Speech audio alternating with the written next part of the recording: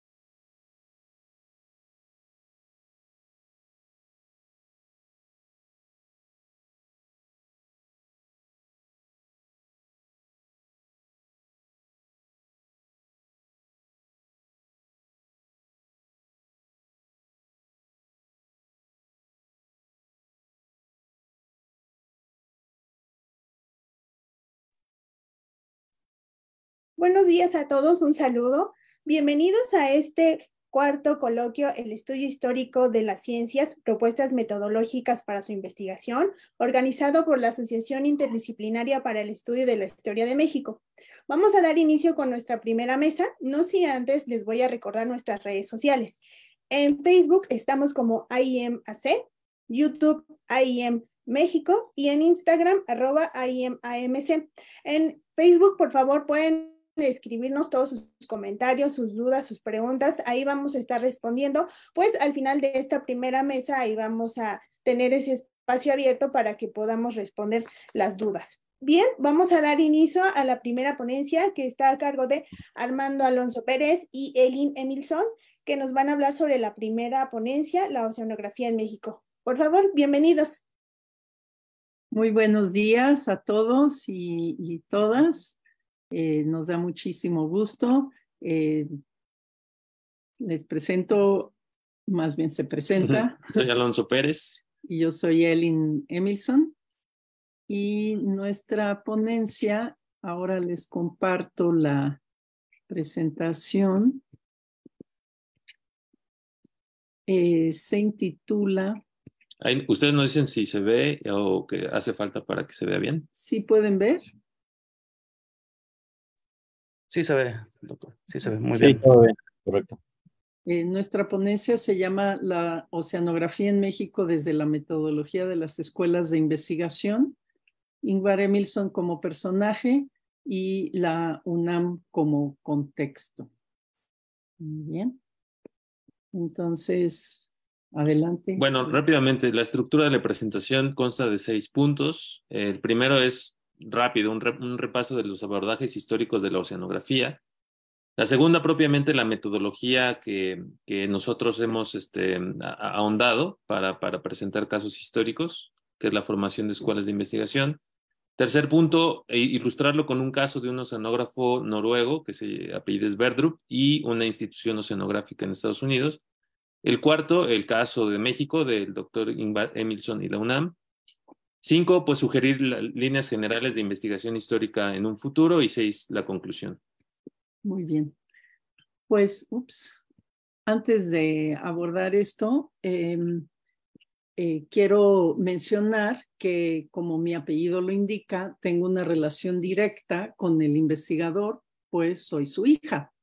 Y si bien no me he dedicado a la oceanografía ni a ninguna ciencia geofísica, tuve el privilegio de escuchar a mi papá cada vez que regresaba de sus campañas oceanográficas y disfrutar de sus historias, que no solo eran entretenidísimas, entretenidísimas, perdón, sino también se podía vislumbrar cómo se iba desarrollando la ciencia en los países en que vivió, que fueron em, México siendo el tercero y el último de esos países.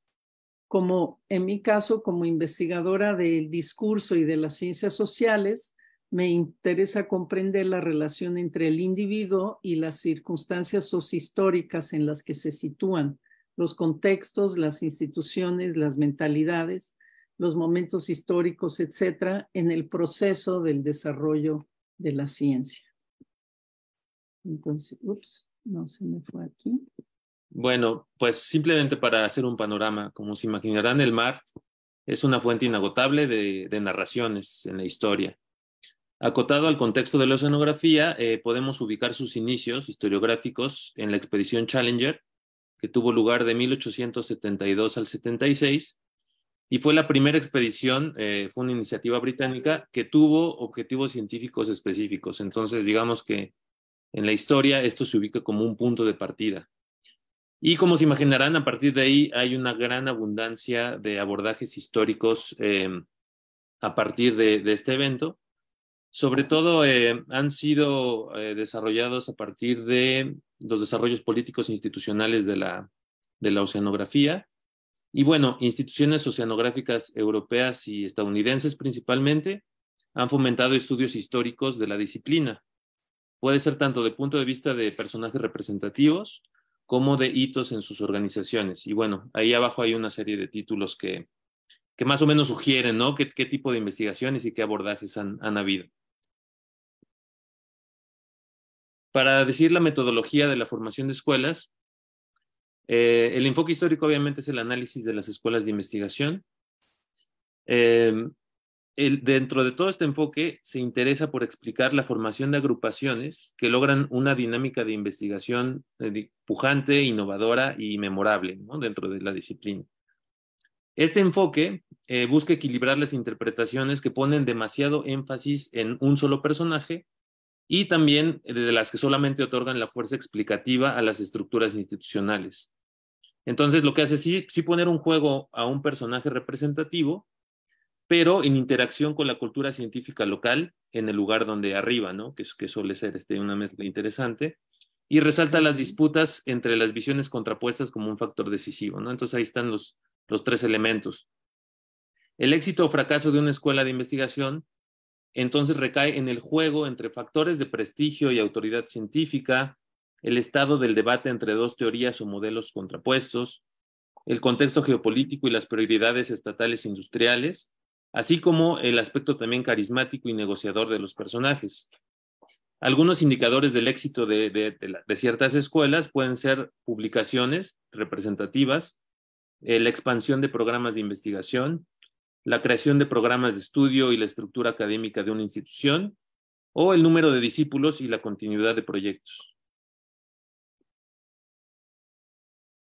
Y bueno, justamente ahí viene resumido, ¿no? El objetivo es explicitar los múltiples factores que juegan un papel en la organización innovadora y exitosa de grupos de científicos y aclara qué elementos hay en juego y califica los tipos de herramientas de este tipo de investigación. Y bueno, eh, hay, un, hay un artículo en el que nos inspiramos, que justamente es este, que se llama Adaptation and the Importance of Local Culture, Creating a Research School at the Scripps Institution of Oceanography que es el que voy a, detallar a continuación, y más adelante Eli nos presentará paralelismos en México del doctor Emilson y la UNAM. Entonces, bien, para iniciar, el caso eh, Sverdrup Scripps, el, Instituto, Instituto Oceanográfico Scripps, que está en, en California, comienza su historia en 1891 con el biólogo Ritter. Establece él una estación biológica al lado de la costa se consolidó durante los inicios del siglo XX, ampliando sus intereses de investigación desde la biología hasta la geología y con el decisivo impulso que las guerras mundiales dieron a la investigación oceanográfica en Estados Unidos. Este recorrido se intersecta con la biografía de Harald Sverdrup, un oceanógrafo noruego. Fue alumno del meteorólogo Wilhelm Jerks, a quien debemos la formulación del teorema de la circulación atmosférica. Em, la investigación del océano en Europa, con énfasis en la física y en la química, acogieron los métodos de la meteorología eh, para formar una visión dinámica del océano. Entonces viene este personaje es Verdrup con una reputación encumbrada por su participación en expediciones en el Ártico y sus contribuciones teóricas a los fenómenos de circulación, fue convencido para ser director del Scripps entre 1936 y 1948.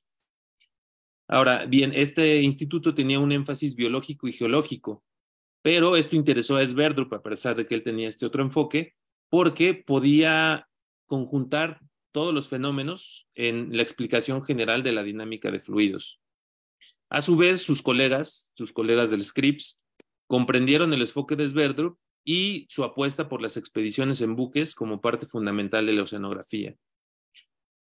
Fue así que de esta interesante mezcla entre personajes, ambiente y, dinámicas, surge un libro referencia eh, que se llama eh, The Oceans, publicado en 1942, y dio pie a una comprensión ecológica de los océanos. Es decir, eh, este fue el trabajo conjunto que después de muchos años surgió a partir de la interacción de este oceanógrafo noruego la escuela escandinava de oceanografía que, él tenía consigo y lo que ya en Estados Unidos tenía un impulso que era eh, el enfoque más bien biológico y geológico y de laboratorio.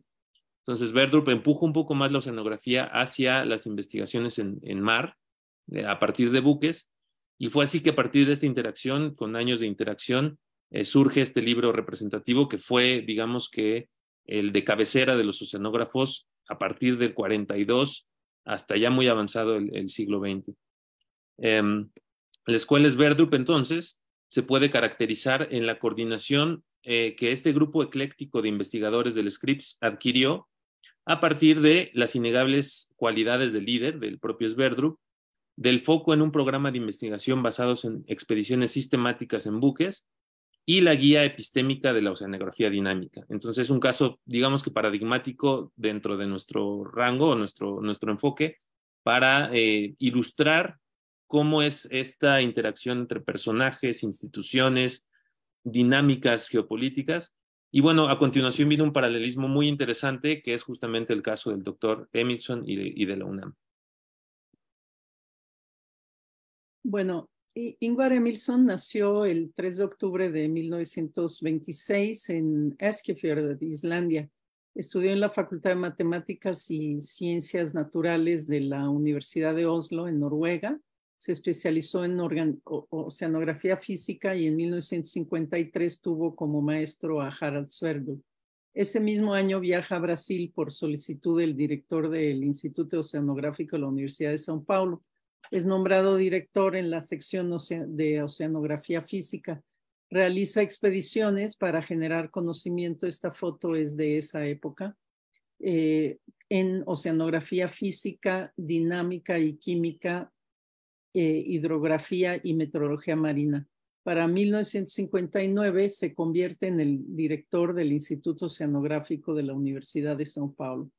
En 1970 eh, eh, es contratado para la UNESCO como asesor de investigaciones marinas y como asesor en la educación en ciencias marinas adscrito a la UNAM. Es invitado para el proyecto de conjunto con ACIT México PNUD UNESCO para el periodo 1973-1980. Su misión fue la de apoyar el desarrollo de la oceanografía en México, tanto en sus aspectos teóricos como operativos. Ayudó a diseñar el núcleo curricular de, ciencias del mar en la UNAM, sentar las bases para la consolidación del Instituto de Ciencias del Mar y Limnología y gestionar la fabricación y compra de dos buques oceanográficos, el Puma y el Justo Sierra. Diseñó el curso de métodos de muestreo en la investigación oceanográfica que como Sverdrup enfatizaba la formación y solvencia de los estudiantes de oceanografía en alta mar. Fungió como luego como secretario de las plataformas o coordinador, mejor dicho, de las plataformas oceanográficas de la UNAM de 1990 hasta su deceso en 2016. Los paralelismos de su trayectoria con la de Sverdrup son sorprendentes, pero la mayor, mayor diferencia es el estado de desarrollo de la oceanografía mundial en general y la cultura científica local en México en 1970 Emilson arriba en un contexto donde la biología y la geología guiaban las primeras incursiones científicas en el mar a encargo de la exploración petrolera mexicana. Por ejemplo, desde 1960 existía en la UNAM el Departamento de Micropaleontología y Ciencias Marinas en el Instituto de Geología. Emilson coincidió con investigadores como Agustina Ayala Castañares, que se formó justamente en el Scripps, y con otros que provenían de España, Hungría y Estados Unidos. Antes de su llegada a la UNAM, la UNESCO había mostrado interés en la investigación de las lagunas costeras en México, por lo que la inercia del interés acuático tenía ya grupos más o menos organizados y con dinámicas de investigación en marcha probablemente su influencia se dejó ver más en elementos articuladores específicos como gestión, diplomacia, aportes concretos, que en un aporte teórico decisivo o, en, o revelador como el caso de Scripps.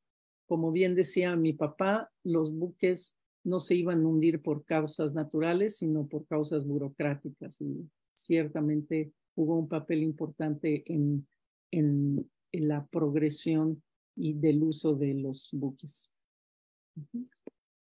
Simplemente para, para acotar dentro de este mismo tema, em, lo interesante sería eh, profundizar en la cultura local en, en, México en los años 70 y, em, y ver la intersección del, doctor Emilson en, esta coyuntura.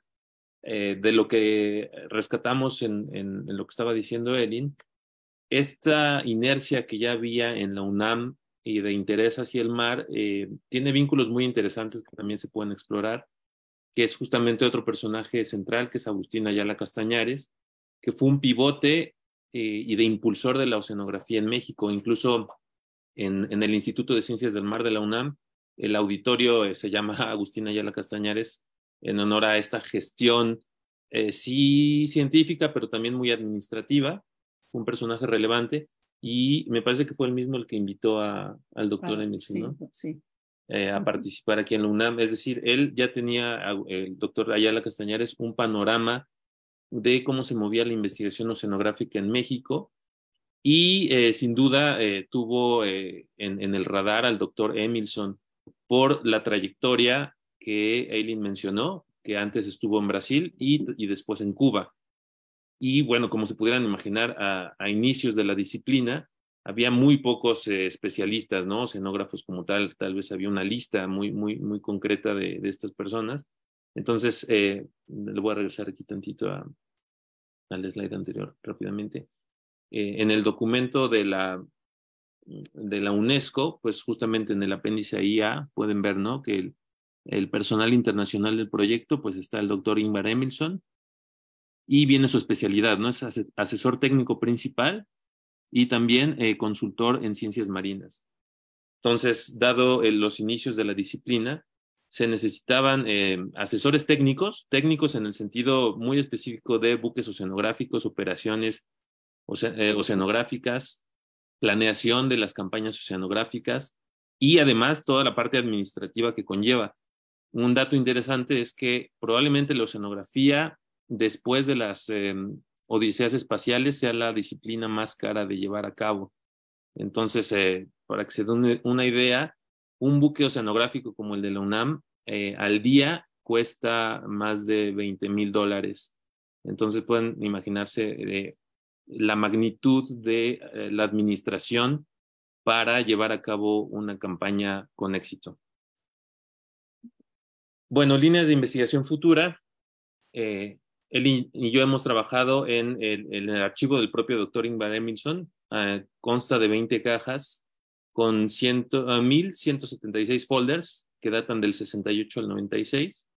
Está en una organización apenas este, pues parcial, digamos, pero al menos no, nos orienta para saber cómo qué, puede ser este, los contenidos.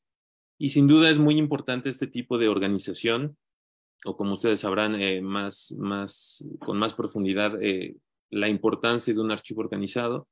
Gran parte de las deducciones que hace el investigador que usa esta metodología en el caso del Scripps y de Sverdrup, la saca de comunicaciones, por ejemplo, personales de Sverdrup con eh, los directores de los institutos y demás, que dan cuenta justamente de, algunos tipos de visiones contrapuestas entre teorías y metodologías y también de cómo se resolvieron, ¿no? Entonces, lo interesante de los archivos es justamente indagar en estas coyunturas donde más allá de lo administrativo se revelan algunas partes de eh, programas de investigación o, eh, eh, o, una voluntad por llevar la, la, investigación hacia un lado o hacia el otro.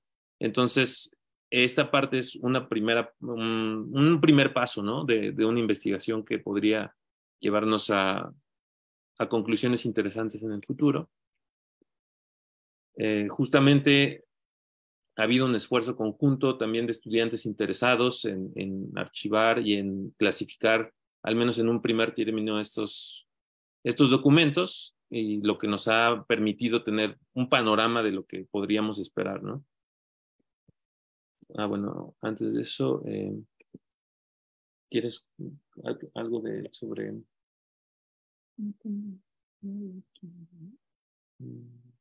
Aquí. Entonces, eh, la metodología de la investigación sobre el desarrollo de una ciencia como la oceanográfica focaliza la interacción dinámica entre las diferentes dimensiones mencionadas, lo epistémico, lo socioeconómico y lo político, desde la proactividad de individuos específicos, en el caso de Sverdrup y el de Emilson, y me atrevería a usar la metáfora del flujo y reflujo del proceso de las mareas, que creo que tiene un, juega un papel muy importante en, en la comprensión del desarrollo de la ciencia. Muchas gracias. Y bueno, simplemente eh, aquí están nuestros contactos. Y eh, también decir que es una oportunidad eh, en una de las ciencias más jóvenes, que justamente la, la oceanografía, poder empezar a indagar sobre su pasado.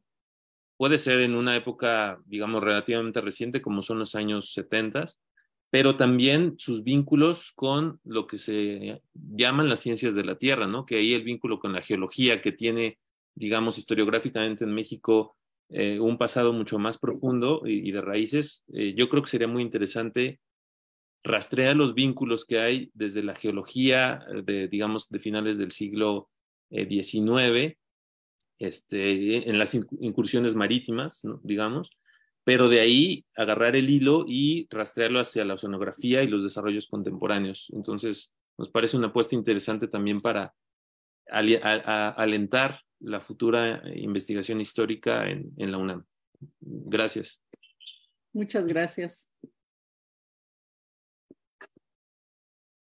Muchas gracias a los dos ponentes, de verdad qué tema tan interesante este del, doctor Emilson y esta relación entre la oceanografía, la geografía y la biología. Y pues eh, recuerden enviarnos sus dudas y comentarios para esta y las siguientes ponencias a través de Facebook.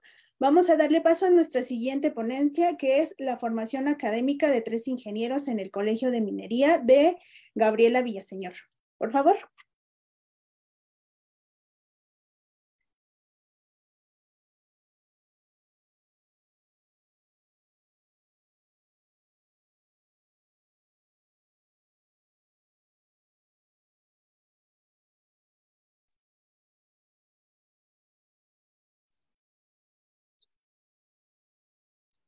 Creo que no está nuestra ponente. Entonces, en lo que vemos si se puede volver a conectar, le vamos a dar paso a nuestra tercera ponencia, que es del doctor Juan Garcés, las dificultades de la metrificación en México durante el último tercio del siglo XIX. Y ya vemos si para nuestro siguiente momento podemos presentar a la doctora, Gabriela. Ah, sí está, parece que ya se conectó. Es que sigo yo. Sí, Sheila, una disculpa, este, una disculpa a todos. Eh, hubo un cambio de último momento. Eh, la compañera Gabriela eh, la, la, cambiamos para la segunda mesa y en su lugar la investigadora Denise Aldana nos va a presentar eh, su, ponencia entre la, literatura y la ciencia, Manuel Paino y sus aportes al Boletín de la Sociedad Mexicana de Geografía y Estadística. Una, disculpa, Denise, no, había, no tenía este nuevo programa. Entonces, por favor, gracias por presentarnos tu ponencia. Te escuchamos. Sí, claro. Voy a presentar.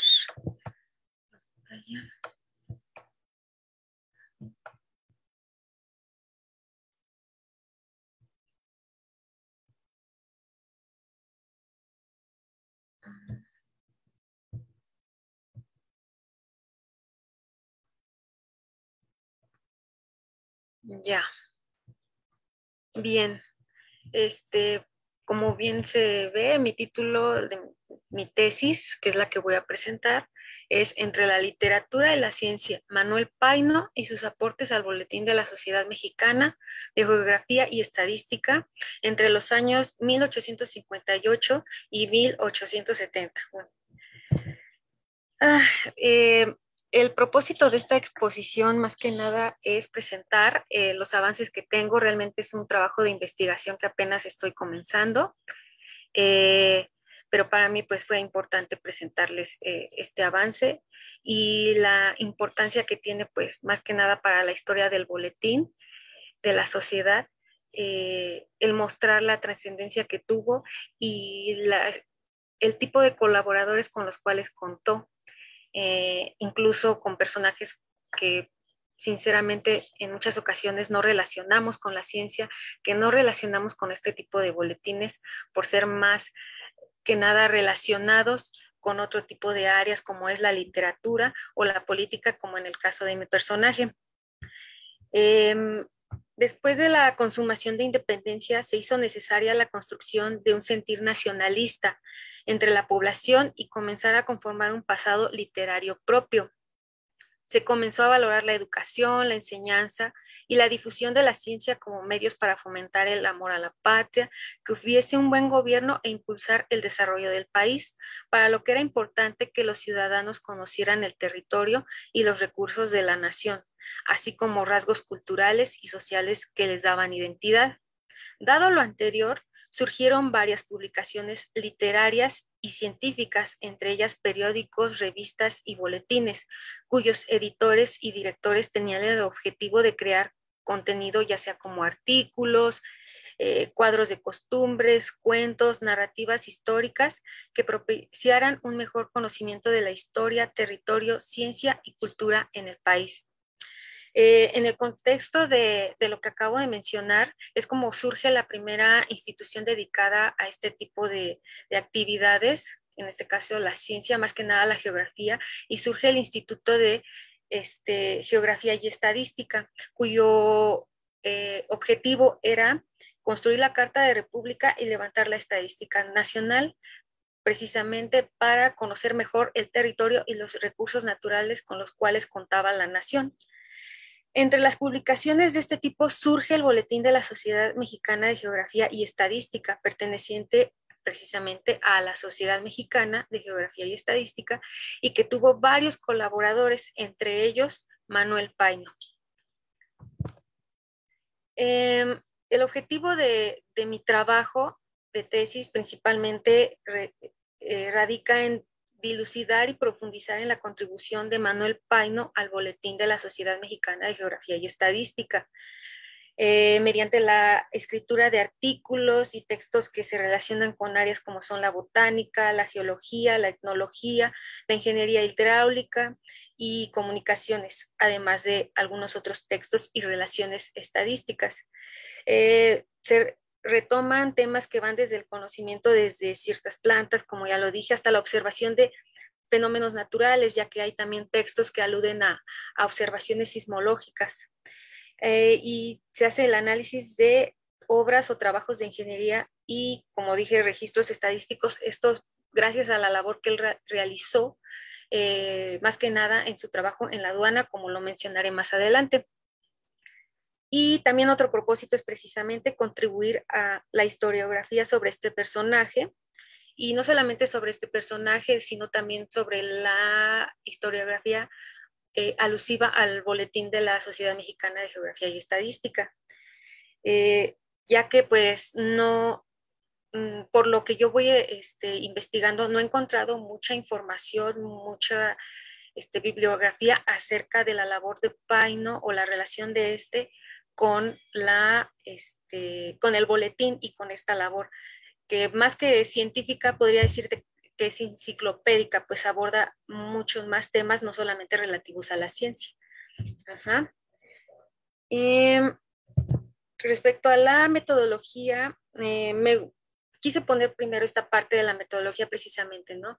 Para explicarles a ustedes y que vieran la relación que existe entre este personaje y el boletín ya que la mayoría de la gente, incluso yo al principio, pues solamente asociamos a Manuel Paino con la literatura, más que nada con su famosa obra de Los bandidos del río frío. Entonces es muy difícil encontrar información y por lo tanto es muy difícil que, mucha gente sepa acerca de que pues Paino realmente tuvo un acercamiento a, gente eh, eh, estaba inmiscuido en, eh, en círculos de intelectuales, eh, científicos y personas más que nada cercanas a, toda esta situación de la ciencia, más que nada, ¿no?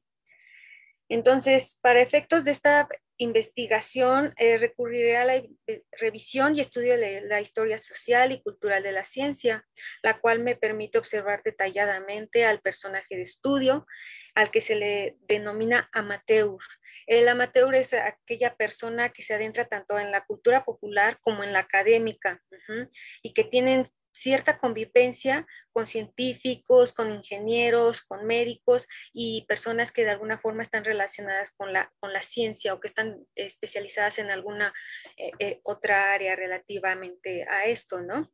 En este caso se requiere un enfoque en la figura de Paino, analizando su faceta como ministro, diplomático, de relaciones exteriores, periodista, literato, historiador e investigador, influido por su fervor nacionalista, además de analizar las relaciones que fue construyendo a lo largo del tiempo en que se dedicó a colaborar con publicaciones de divulgación científica, académica y literaria, entendiendo que siempre se vio rodeado de personajes de la escena literaria, científica, cultural y además política. Es importante resaltar la relevancia que se tiene en, esta parte debido a las características y significado del boletín en la construcción de un sentimiento nacionalista en la población. Y no solo de este, sino también de las revistas científicas y literarias. La historia social de la ciencia me ayudará a explicar los vínculos existentes entre la ciencia y la literatura y cómo esto fue empleado en la construcción del nacionalismo en México. Asimismo, se hará uso de la perspectiva y orientación interdisciplinaria, esto como parte de la construcción del conocimiento científico por medio de diversos materiales impresos de los que se desea perdón, extraer información relacionada no solo con nuestro personaje, sino del contexto sociocultural, científico y político que lo rodeaba y cómo esto fue eh, influyente en su escritura y los usos. Y para esto también se hará el análisis del propio boletín, tanto en su contenido como en la finalidad de la publicación para conjuntarlo con el perfil del personaje.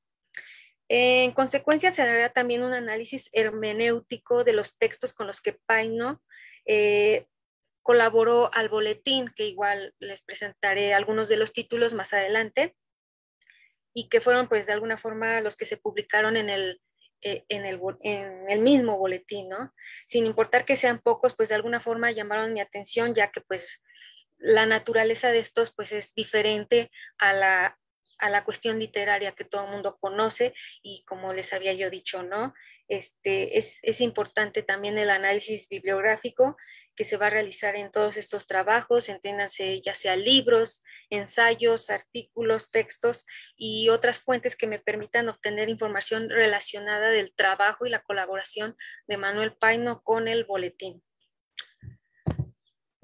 Mm, para esto, como les digo, es importante eh, estudiar al personaje de cerca y pues primero que nada este, tenemos que José Manuel Román Paino Cruzado, que es su nombre completo, hijo de Manuel Paino y Bustamante y Josefa, este, formó parte de aquellos que todavía tenían una educación religiosa, una educación tradicionalista, ya que su madre lo, lo, formó y lo encaminó más que nada a cuestiones religiosas, pues aunque ya era un contexto de un México independiente, en donde ya este, cada vez iban surgiendo más instituciones laicas, pues finalmente Paino todavía fue de aquellos niños que recibieron una, una formación eh, religiosa en sus primeros años. Eh, sin embargo, entró en su juventud a un colegio llamado el Colegio de Jesús, en donde el director era justamente José María Luis Mora. Eh, dicho colegio proporcionaba una enseñanza liberal, por lo que tuvo una gran influencia de patriotismo y progreso en sus alumnos. Paino tomó clases de economía política y de historia en esta institución.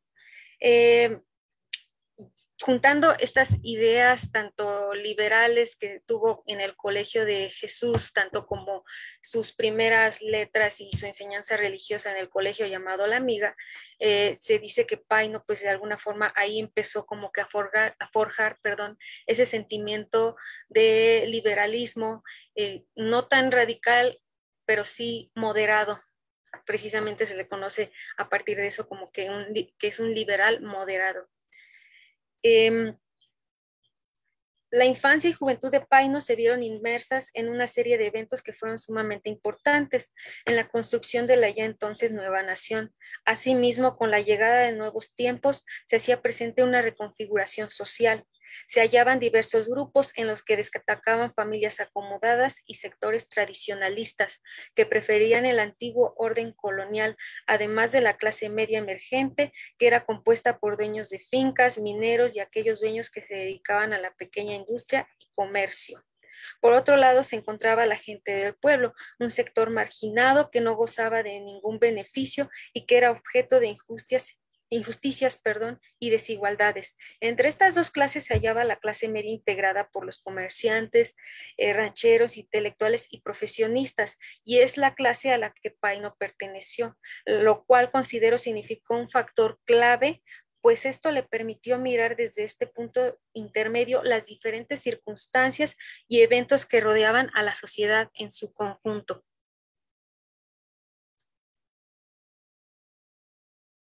Para ejemplificar lo anterior, me parece importante destacar su adhesión a las tertulias literarias, que es ahí donde empieza Paino realmente muy joven, aunque se dedicó a otras situaciones. También a la par se decía que en sus tiempos libres se iba a reuniones en donde pues se, inculcaba este gusto por las letras, se, inculcaban ideas ya nacionalistas o de crear una, una literatura propia este, dejando de lado eh, patrones o, ejemplos extranjeros. Sin embargo, no pudo hacerse. Claro, tenían que tomar como referencia eh, algunos literatos eh, de afuera, pero sin embargo ese era el propósito, ¿no? Crear ya una literatura propia mexicana. Entre eso, pues crear dentro de esa literatura un apartado en donde surgieran ya textos Em, hablando pues precisamente de, estos valores nacionales, de este sentimiento patriótico y qué mejor que darle a entender o da, enseñarle a la población, a aquellos que pudieran tener acceso, este, este conocimiento y este valor de la enseñanza de la ciencia como una forma de educar a la población y, eh, e impulsar el desarrollo del país, porque Paino también creía que eh, la, falta de, del conocimiento del, de la propia nación, la falta de conocimiento de, la historia patria, de los recursos que, se tenían eh, en, el país, eh, era un mal que había que erradicar, porque finalmente decía que los ciudadanos no eran capaces de defender lo que no conocían. Eh, esto haciendo alusión al siglo XIX, que fue realmente un siglo muy caótico porque había guerra tras guerra, inestabilidad política, eh, realmente no había como una coherencia eh, o una este, complicidad entre los gobiernos, no había como un, un, acuerdo y eso pues de alguna forma se veía reflejado tanto en lo económico, obviamente en lo social, entonces, Paino decía que era muy importante educar a la población, enseñarles este, todo lo referente a la ciencia, a la tecnología, obviamente la tecnología de aquel entonces, y este, para más que nada acabar con ese, ese mal de la inestabilidad.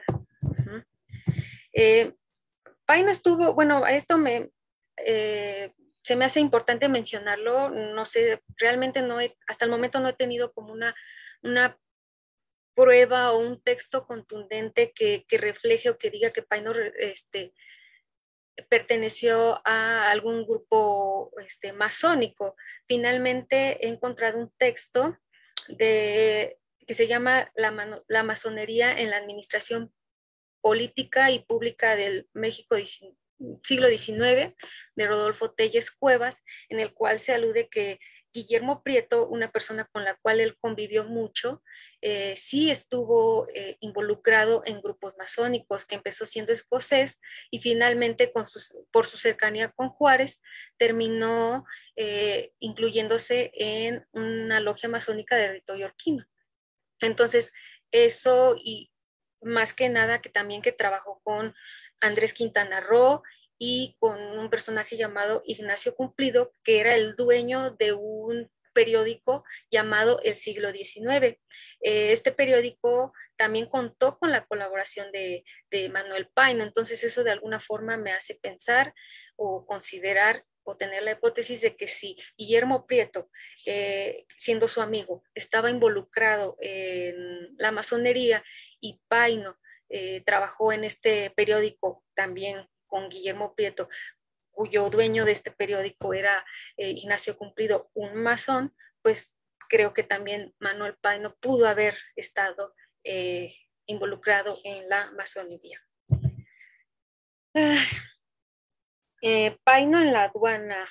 Bueno, eh, gracias a la intervención de su padre, eh, Manuel Paino comenzó su trabajo en la aduana de la Ciudad de México a la edad de 14 años como meritorio a la Dirección General de Rentas en esta misma ciudad y poco después a la edad de 19 años fue enviado a Matamoros en compañía de Guillermo Prieto, su gran amigo. cuando cumplió 22 años fue nombrado administrador de la renta de tabaco en Fresnillo. Zacatecas y poco después fungió como contador de una fábrica de tabaco en la Ciudad de México. Eh, Paino a la edad de 30 años llegó al Ministerio de Hacienda. Realmente fueron tres ocasiones en las que ocupó este cargo. La primera vez formó parte del gabinete de José Joaquín de Herrera, del 4 de julio de 1850 al 15 de enero de 1851. Fue en ese entonces que su perfil como servidor público se define del lado Partido Liberal Moderado. Durante este periodo, Paino se ocupó del reglamento de contrarresguardos para evitar casos de contrabando en la frontera norte que estaban perjudicando el comercio de buena fe y mermando el producto de aduanas de Tampico y Veracruz. Se, se preocupó por el control del gasto público y extendió mensualmente los presupuestos de las comisarías militares. Otra de las medidas importantes tomadas por Paino y que caracterizaron este periodo fueron las relacionadas con el decreto que sentó las bases para el, arreglo de la deuda inglesa y que fue promulgado el 14 de octubre de 1850 y la ley del 30 de noviembre de 1850 relativa al arreglo de la deuda interior. Con estas dos medidas, Paino se aseguró de solucionar los dos problemas que afectaban en gran manera al erario nacional.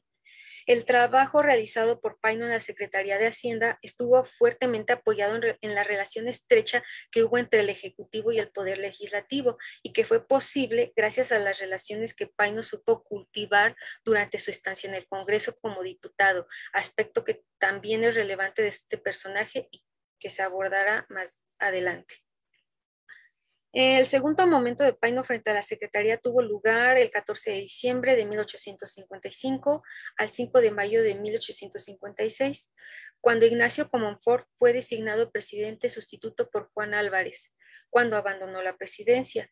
Este periodo de Paino dio a conocer un plan de trabajo que reiteraba los principios de orden y libertad y manifestaba el compromiso del gobierno por instaurar el progreso de la nación en materia de administración, economía y política y dispuso la Ley de Presupuestos Generales de la República, promulgada el 31 de diciembre de 1855, contemplando los excesivos gastos militares por el gran número de personas enlistadas y las bases para que la nación supiera cuánto debía contribuir anualmente, y acentuaba la situación tan lamentable de los ingresos hacendarios y que en su mayoría eran provenientes de las aduanas marítimas, mismos ingresos que se destinaban al pago de distintas cuestiones, como el pago de la deuda contraída con Londres, la Convención Española y la deuda interior, así como el sostén de fuerzas militares, gastos de guerra, entre otros. Eh, además de lo anterior, decretó la llamada Ordenanza General de Aduanas o Arancel Paino, nuevamente movido por la necesidad de obtener recursos y generar rentas por y por consiguiente efectuó la habilitación de los puertos de Acapulco, La Ventosa en Tehuantepec y Coatzacoalcos y La Paz en Baja California para el comercio exterior. Declaró el libre cultivo, venta y exportación de tabaco, estableció nuevas tarifas para el franqueo de la correspondencia y presentó un proyecto ante la Junta de Crédito Público cuya finalidad era la de organizar un banco para la administración de productos aduaneros y marítimos. Ya por último está el periodo comprendido entre el 20 de octubre de 1857 al 20 de enero de 1858.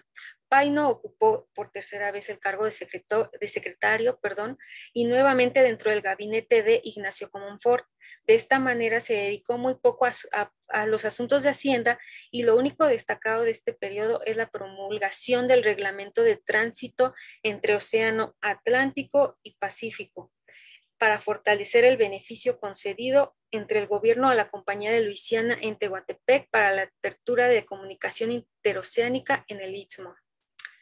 Eh, tiempo después, una vez pasados los eventos que comprenden la Guerra de Reforma, la intervención francesa, el Segundo Imperio y la República restaurada, Paino volvió a la escena política, ya que Benito Juárez le encomendó que hiciera una relación de cuentas del imperio de Maximiliano misma que fue publicada en 1868 bajo el nombre de Cuentas, Gastos, Acreedores y otros asuntos del tiempo de la intervención francesa, y, que, y también México y sus cuestiones financieras con la España, la Inglaterra y la Francia. Esto me parece muy importante. Yo creo muchos de ustedes dirán, bueno, esto que tiene que ver pues con la ciencia. Finalmente, me pareció a mí importante porque para efectos de esta investigación, creo que este, es una manera de entender de dónde Paino también obtuvo la, experiencia y el bagaje necesario para realizar los textos que eh, plasmó y colaboró también con el Boletín de la Sociedad Mexicana de Geografía y Estadística hubo muchos textos en los, que habló precisamente de, los recursos, de, este, datos y relaciones de las aduanas, como les mandé, más que nada este, marítimas. Ahora, Paino, Relaciones Exteriores y Senado. Años después, Paino transitó por una etapa crítica en su desempeño como funcionario y político. Durante los gobiernos de Manuel González y Porfirio Díaz se le consideraba en ciertos casos, pero no de tal forma como en el pasado. El mismo Paino refiere que no se sentía identificado con los ideales de las personas que ahora estaban en el poder y que eran muy distintas a aquellas con las que había tenido afinidad en convicción y criterio republicano. No obstante, en 1882 fue nombrado director y agente de colonización de México ante Europa, en donde además permaneció al frente de los consulados de Barcelona, Santander y París. Debido al panorama anterior y a causa de las manifestaciones de inconformidad de Paino ante el secretario de Relaciones Exteriores, Ignacio Mariscal, en 1889 y 1890 se le confirió el cargo de cónsul general de la República en Francia y cónsul general en España, respectivamente. Para dos años después, en 1893, retornar a México por problemas de salud. No obstante su situación, en 1894 Paino se convirtió en el senador por el estado de Oaxaca y también se adhirió al 17 Congreso por el entonces llamado Distrito Federal, para después ocupar el cargo de presidente del Senado, que finalmente creo que fue el último cargo que ocupó en materia política. Ahora, su trabajo literario y periodístico. El trabajo literario de Manuel Paino no puede dejarse de lado. Es tal la trascendencia de este que debe recurrirse a la revisión no solo de sus experiencias y sus cargos, sino también de su obra para tratar de encontrar pesquisas que me ayuden a, dilucidar la colaboración de Paino en el boletín de la Sociedad Mexicana de Geografía y Estadística y los detalles que sea posible encontrar. Gracias a la labor que desempeñó Manuel Paino como servidor público y a los diversos cargos que ocupó, eh, que ocupó, perdón, en distintas instancias, es que este personaje pudo vivir de cerca varios eventos que le permitieron conocer profundamente el contexto social, político y económico del México decimonónico y formar parte de una élite de políticos civiles cuya relevancia y participación en la vida pública hicieron posible su incursión en la literatura, el periodismo, la política, las finanzas y la elaboración de ensayos sociales e históricos. Asimismo, su experiencia le dio el bagaje necesario para dar luz a textos y obras que, sin duda alguna, son la máxima expresión de su conocimiento y testimonio.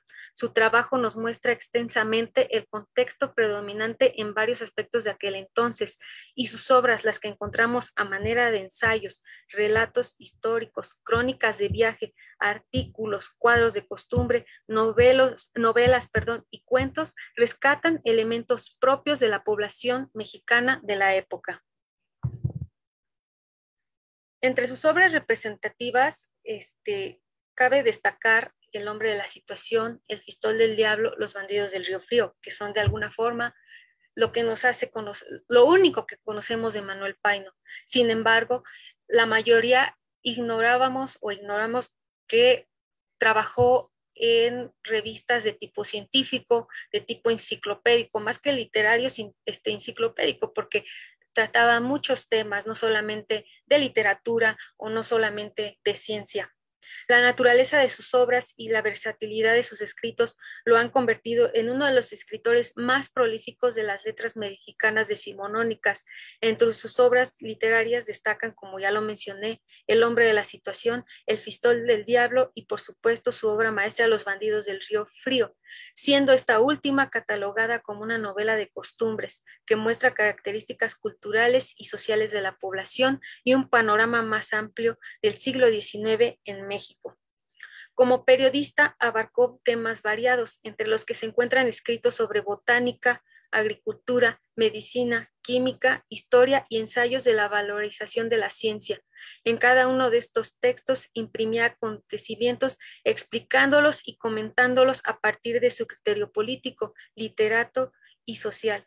Es de esta manera como inicia su ejercicio literario expresando mediante esta actividad sus inquietudes, así como criterios morales para emprender un proceso de construcción de identidad nacional. Por lo anterior, Paino, junto con algunos de sus compañeros de pluma, buscó plasmar una imagen general, tanto cultural como social, que se fuera nutriendo poco a poco, muy a pesar de la época caótica que se estaba viviendo en México, y para lograrlo apostó por el camino de las revistas literarias y científicas. En lo que a estas revistas refiere, Paino colaboró con algunas publicaciones como El Año Nuevo, El Mosaico Mexicano, El Ateneo Mexicano, El Presente Amistoso, y él y Guillermo Prieto participaron en la, en la, redacción de las tres primeras revistas con verdaderos propósitos nacionalistas, y estas son el Museo Mexicano, la Revista Científica y Literaria de México, el Álbum Mexicano, y aludiré también a otros periódicos que son el Eco del Comercio, ay, perdón, el Eco del Comercio y el Federalista de 1871, de las cuales también fue fundador y director. El,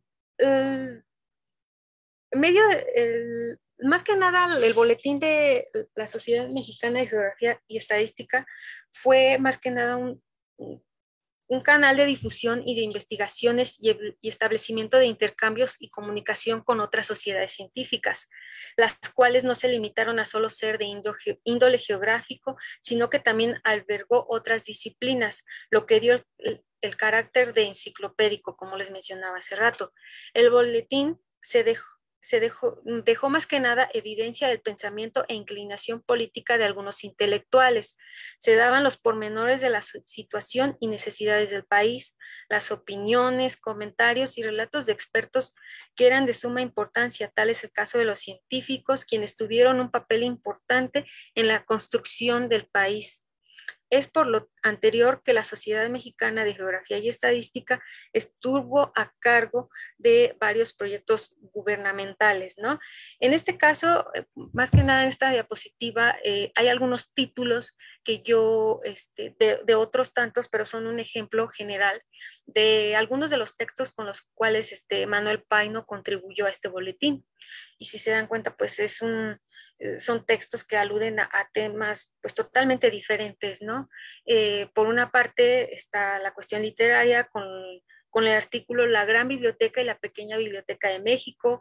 Está otro que es la estadística fiscal, deuda contraída en Inglaterra por Brasil y este, que más que nada tiene que ver con sus actividades y su trabajo en la aduana.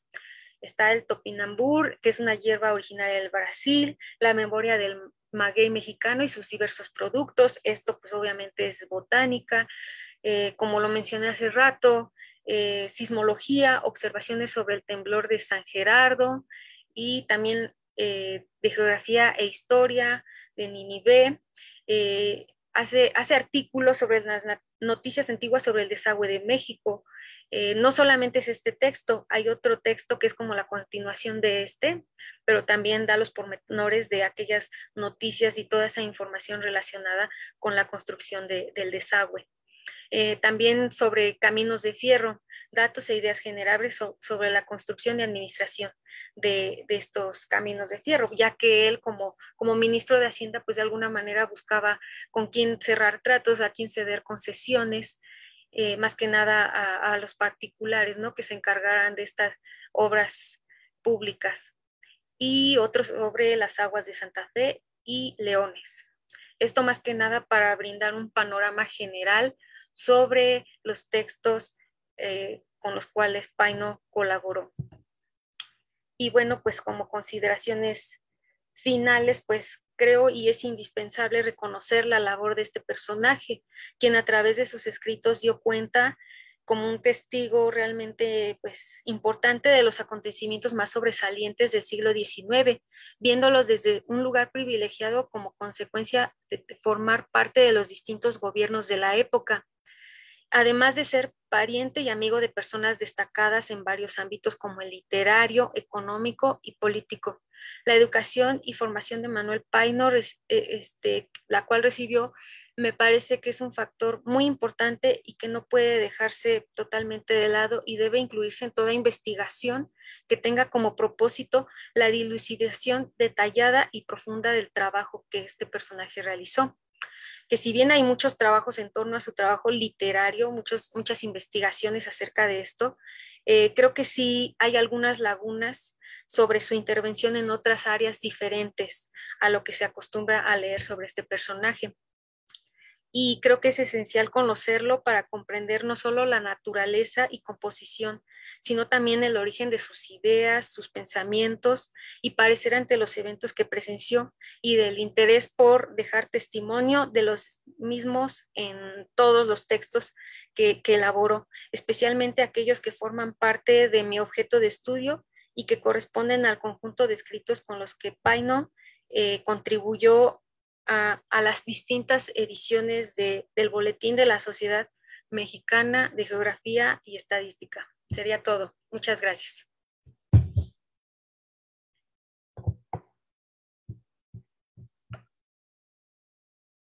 Denise, muchas gracias a ti por compartirnos tu trabajo, tu investigación sobre Paino. Es sin duda muy enriquecedora, pues como bien mencionaste, solamente conocemos esta parte literaria de él, pero ahora vemos que tenía trabajos tanto en el boletín como de diferentes temas. Entonces, muchas gracias. Más adelante vamos a ver algunos comentarios sobre tu ponencia. Y ahora le vamos a dar paso a Juan Garcés, que nos va a hablar sobre las dificultades de la metrificación en México durante el último tercio del siglo XIX. Bienvenido, Juan. Gracias. Hola, muchísimas gracias, este, Sheila. Eh, agradezco también, aprovechando al doctor Rodrigo y a Freddy, que también están este, aquí. Eh, es un gusto compartir con ustedes de nueva cuenta un espacio. Y bueno, pues hoy les voy a hablar eh, un poco de la implementación del sistema métrico, del sistema métrico decimal y justamente las dificultades que se desarrollaron en el proceso ¿no? de la implementación como tal. Se supone que ahí ya se debe de estar viendo. Ok. Entonces, bueno, básicamente sabemos que la implementación del sistema métrico decimal en México inicia desde los años 50. El proceso de propuestas, ¿no?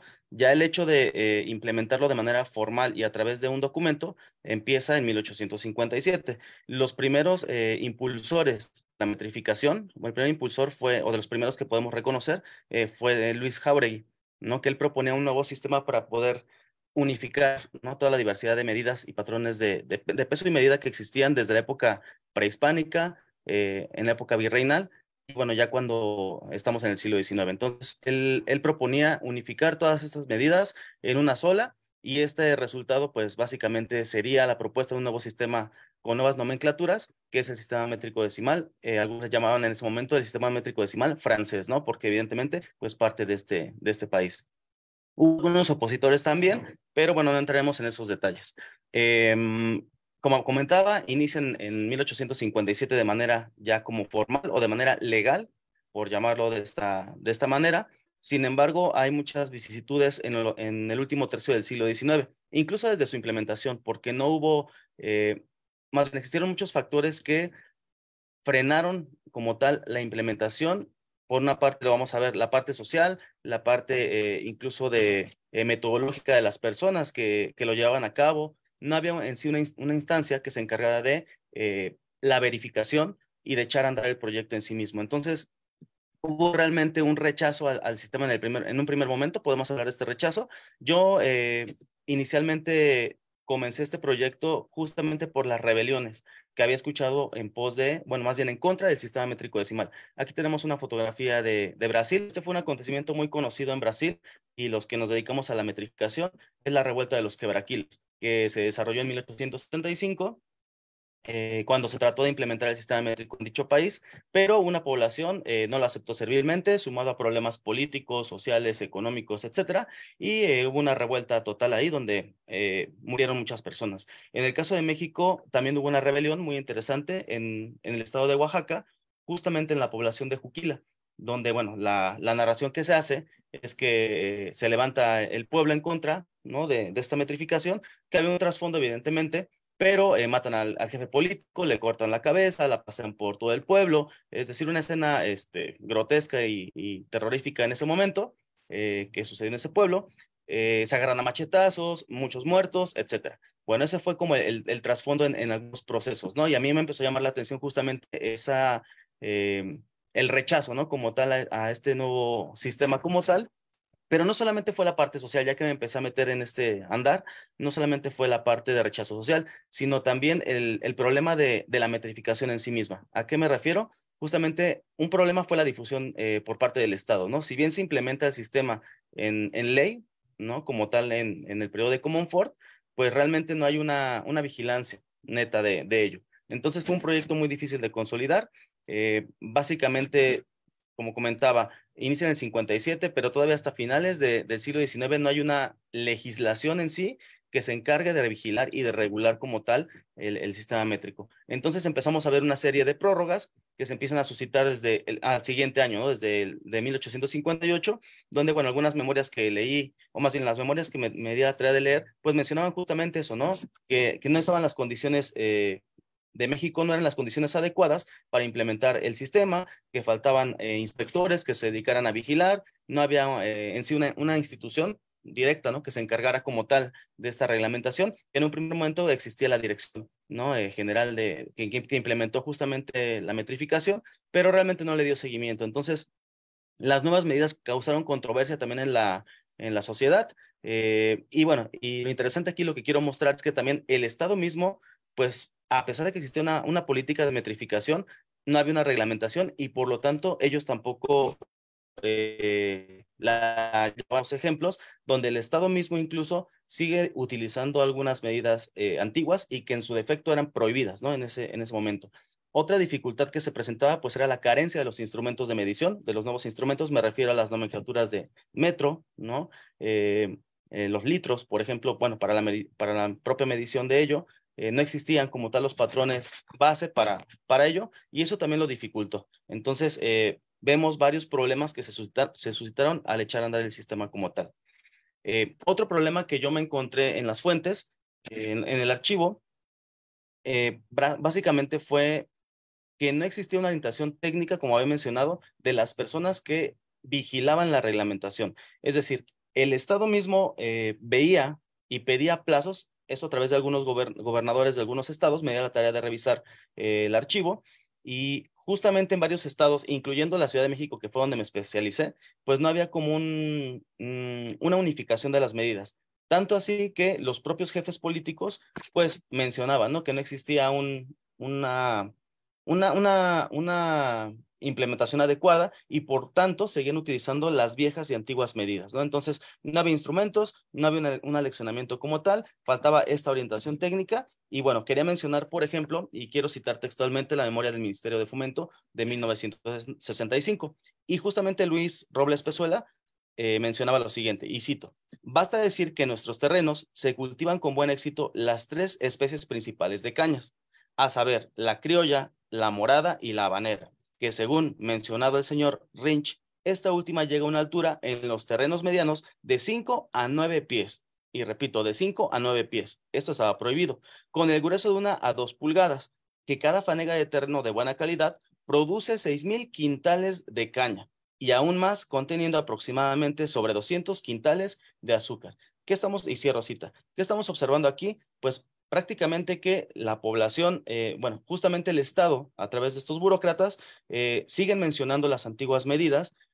Se supone que estas estaban prohibidas, pero reitero, las seguimos viendo incluso en las memorias del Ministerio de Fomento, que es algo que eh, se supone que ellos estaban emitiendo y estaban implementando una nueva reglamentación métrica pero finalmente pues esta no se desarrolla como tal.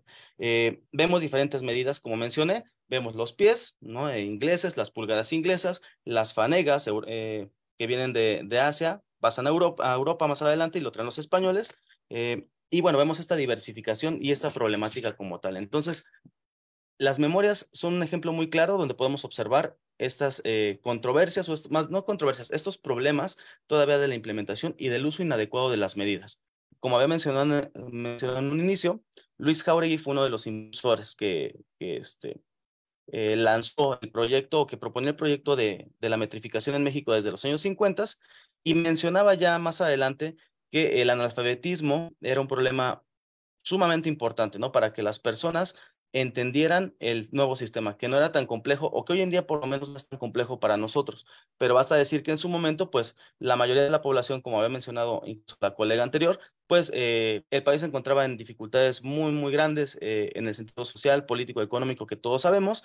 Y bueno, muchas personas evidentemente no sabían leer ni escribir. Entonces, este fue otro factor que también mencionaba este señor Luis Jauregui. Y él eh, mencionaba también que, a pesar de que lo había mencionado, y voy a citar textualmente, decía, desde el año 50 o antes empecé a proponer por los periódicos la adopción en México del sistema métrico y a fuerza de mi constancia a repetir su utilidad, se vino a dar en la ley del 56 para que se adoptara.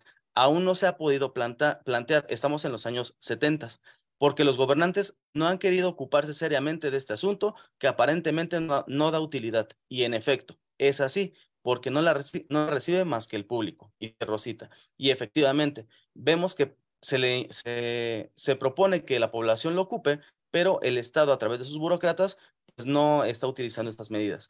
Eh, también Jauregui eh, atribuía un problema muy importante a las monedas. Las monedas van íntimamente relacionadas con la, con la metrificación, y esto lo platicaba desde que estaba desarrollando la tesis doctoral eh, con el doctor José Enrique Covarrubias, hablaba de esta liga ¿no? que hay entre la moneda y este, el metrificarlas como tal. Y mencionaba ¿no? que los patrones eh, antiguos de, medida de moneda también era una dificultad para poder comerciar con ellos. Entonces, eh, mencionaba textualmente Jauregui que esto causaba disgustos y gravámenes. Entonces, eh, él pretendía justamente a través de la implementación, y, sí, que era necesario suprimir los medios reales, cuartillas y tlacos, suprimir las cargas, medias y cuartillos para los granos, cuartillos para los líquidos y las arrobas libras para los pesos. Entonces, aquí vemos esta dificultad, no solamente eh, en la parte, digamos, comercial, sino también en la parte de la moneda, ¿no? Que obviamente van íntimamente ligadas y que vemos aquí está, eh, pues, este problema, ¿no? Que va íntimamente ligado, como había señalado. Otros ejemplos que quería comentarles y quería compartir con ustedes, pues vamos a verlo más adelante en las siguientes memorias. Digo, aquí solamente estoy rescatando algunos casos porque me tomé la tarea de, leer, de revisar este, las memorias como tal, las memorias de fomento y encontré muchísimas eh, inconsistencias. Entre ellas, aquí les presento la del, de 1883 y cito textualmente de nueva cuenta lo que dice el ministro del despacho del, perdón, del Ministerio de Fomento. Dice, conforme, y cito textualmente, conforme a lo provenido en la ley del 20 de diciembre de 1882, el sistema métrico decimal debió haber comenzado a ponerse en vigor en la República desde el primero de enero del año anterior. Esto no ha llegado a tener verificativo, porque en virtud de las contradicciones que se notaron en algunos de los artículos de aquella ley, de las dificultades que se presentaron para ponerla en práctica y de las modificaciones que se juzgaron indispensables para evitar los inconvenientes a que daba lugar su ejecución. El Ejecutivo creyó de su deber dirigir al Congreso de la Unión, como lo verificó el 3 de diciembre de 1883, las observaciones que tiene su eh, iniciativa de la misma fecha y que sirven de fundamento al proyecto de la ley. ¿Eso qué quiere decir? Que básicamente estaban otra vez eh, prorrogando la implementación del sistema métrico. Estamos hablando ya más o menos 30 eh, años, ¿no? Eh, más adelante, que se sigue observando que no se puede implementar el sistema métrico como tal. Em, algunos jefes políticos de algunos estados eh, utilizaron algunos medios para poder, digamos que aceptarlo, ¿no? O para poder implementarlo dentro de la población. para la población realmente, si nos ponemos en el contexto del momento, pues era muy complejo, ¿no? Es como hoy en día lo, veíamos con el cambio de horario. ¿Qué tan complicado era eh, o qué tan complicado fue para nosotros adecuarnos a él, ¿no? Que a final de cuentas podríamos llamarlo una imposición, podríamos, eh, bueno, algunos autores lo llaman como esos medios de legitimación del Estado, ¿no? Que son ciertos actos que el Estado realiza, pero que son obligatorios para todos. Y justamente como se pone a través de una legislación, pues es complicado que nosotros eh, estemos en contra de ello. Entonces, es obligatorio básicamente para todos. Entonces, bueno, aquí podemos observar una imagen de, eh, los años, eh, de finales del siglo XIX, en el libro de 1903 de, de Sudworth, pero básicamente podemos observar al fondo que se siguen utilizando eh, canastas y de hecho hoy en día, ¿no? La, la, metrificación ha sido tan complicado y siempre lo menciono y no me canso de ello, que ha sido tan complicado que hoy en día todavía se siguen utilizando medidas eh, de antiguo régimen, ¿no? Me refiero a medidas, eh, algunas medidas antropomorfas, incluso prehispánicas, y también este, de, de, peso, de volumen, etcétera, como cuartillos, arrobas, etcétera. Y lo seguimos viendo hoy en día. Entonces, si hoy, en día, reitero, se siguen utilizando eh, estos patrones de medición, pues imaginemos en ese momento, en ese contexto. Y bueno, ahí lo podemos verificar en esa, en esa imagen del momento. Entonces, tenemos un uso inadecuado de pesas y medidas eh, en los estados como tal, ¿no? Eh, quería hacer otra cita también de la Secretaría de Fomento de 1883 y menciona lo siguiente. recordemos que todas estas memorias pues contienen parte de la producción en, en, algunos estados y podemos ver las cantidades, eh, las, mediciones, las fechas, etcétera. Entonces, la siguiente eh, memoria menciona lo siguiente y cito textualmente. El mayor cultivo puede representarse para los distritos de Ures, Magdalena, Guaymas y Hermosillo, que son los más productores en lo siguiente. Trigo, 200 mil fanegas, maíz, 75 mil fanegas, frijol 15 mil fanegas. En el distrito de Culiacán, teniéndose necesidad, como en el fuerte, de hacer zanjas para encontrar la humedad necesaria a la planta. De todos los plantíos que existen en el distrito, la mayor parte de la caña es empleada en la fabricación, habiendo solo una fábrica de azúcar que está en Culiacán. Eh, esta fábrica produjo en la última temporada 112 eh, arrobas de azúcar, pudiendo producir 25 mil a 30 mil con poco esfuerzo. Y cierro cita. Y de nueva cuenta, pues podemos observar el uso de medidas eh, antiguas y prohibidas. ¿no? Incluso aquí en este ejemplo no se mencionan siquiera las medidas del sistema métrico decimal. Y eso es lo que quería destacar aquí. Eh, otro caso, por ejemplo, fue el, eh, el, presidente de la compañía de agua potable que, menciona, que manda un, un escrito al gobierno federal y que dice que se pregunta y pregunta justamente al Estado que cuál es el valor de la paja de agua, ¿no? Entonces, eh, seguimos utilizando más bien en ese sentido, los jefes políticos están todavía con estas dudas de cómo implementar, cómo, cómo desarrollar y cómo utilizar los nuevos patrones de, medición, por lo cual pues siguen empleando los, los antiguos, ¿no? Que les, se les hace mucho más sencillo que el poder utilizar los nuevos patrones de, eh, del sistema métrico decimal. Asimismo, bueno, yo tengo una hipótesis que básicamente eh, el aplazamiento ¿no? de estas prórrogas como tal que se van desarrollando por el Estado, pues se deben también no solamente a esta parte social, no solamente eh, al adiestramiento, sino también a una oficina, ¿no? Que se encargue ahora sí propiamente de implementar, de reglamentar, de vigilar. Y esto se va a desarrollar justamente pues ya en la última década del siglo XIX, cuando se implementa o se desarrolla el Departamento de Pesas y Medidas, que es, eh, a partir de ella pues ya es una, una serie de eh, instituciones, a partir de las oficinas verificadoras de pesas y medidas, un conglomerado de burócratas que en teoría, porque, y reitero otra en teoría pues eh, están adiestrados, ¿no? Hablamos ya de ingenieros, de este, personas que ya están un poco más, eh, digamos, encaminadas a esta parte de la ciencia y que pueden y entienden eh, la, la importancia y pueden adiestrar, incluso llevar a cabo la metrificación como tal.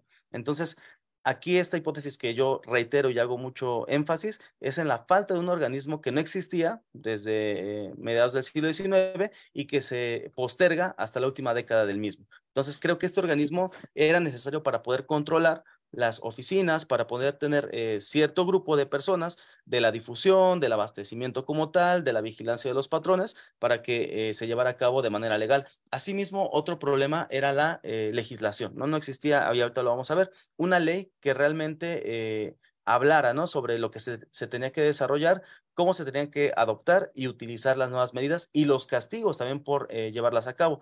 De hecho, hoy en día pues sabemos que el utilizar estas medidas pues es, eh, eh, tiene como resultado una multa, ¿no? El hecho de utilizar medidas antiguas.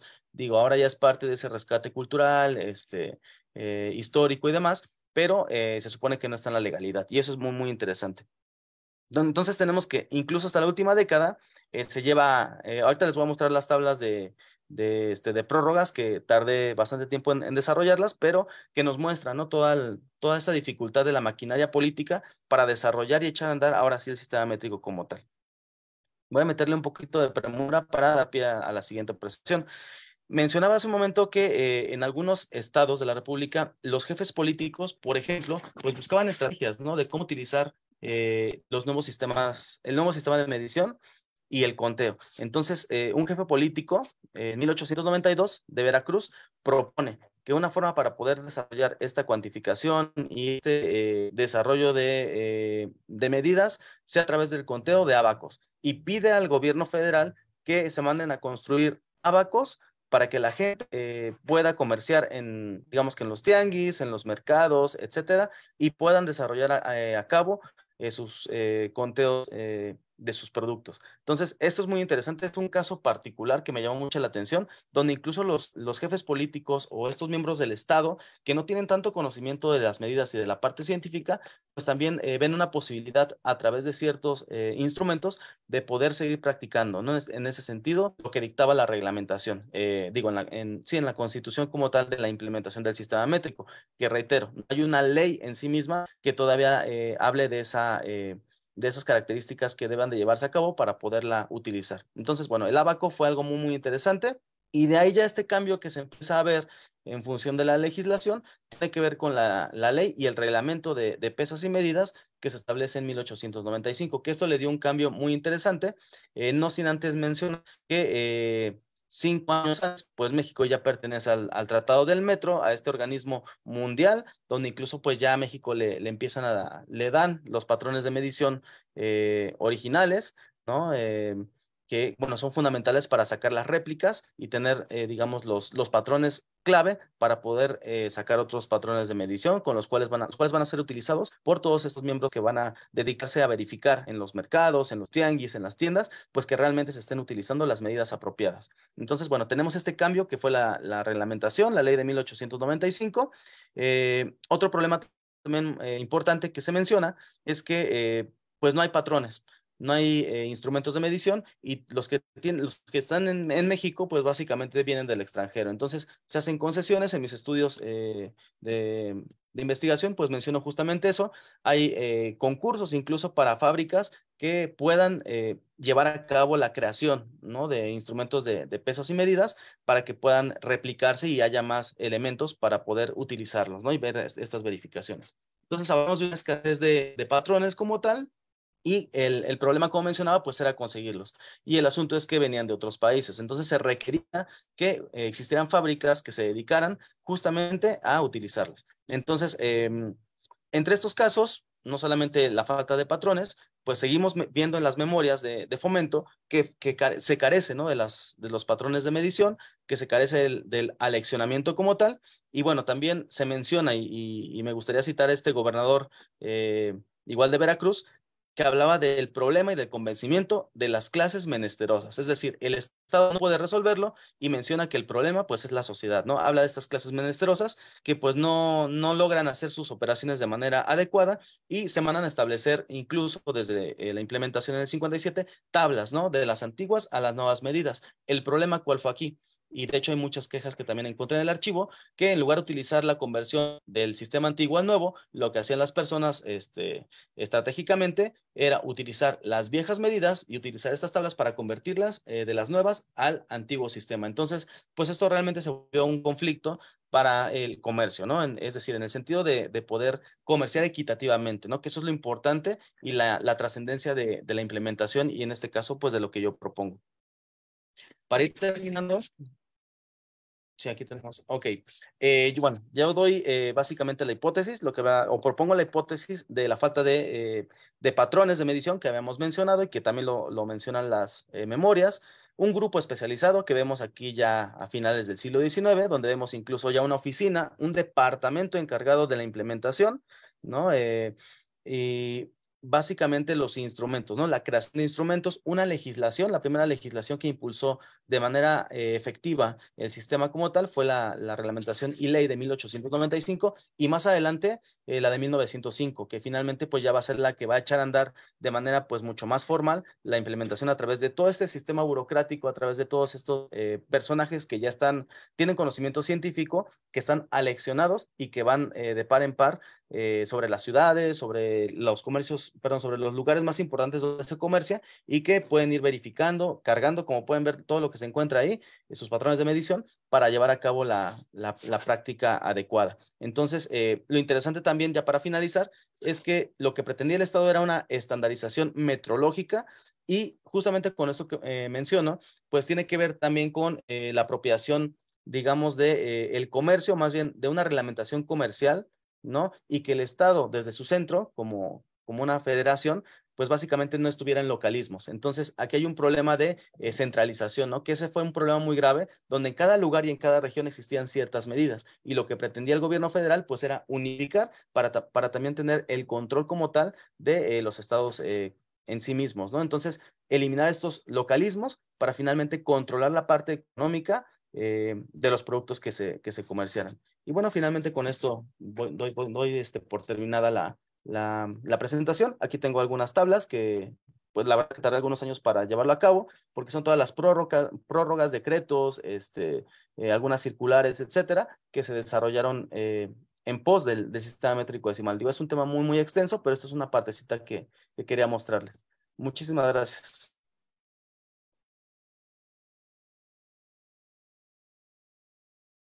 Muchas gracias a ti, Juan, por tu presentación tan enriquecedora sobre el sistema métrico.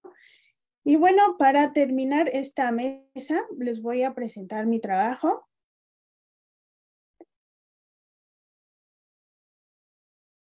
Ahorita que pueda poner, este, podamos poner la pantalla.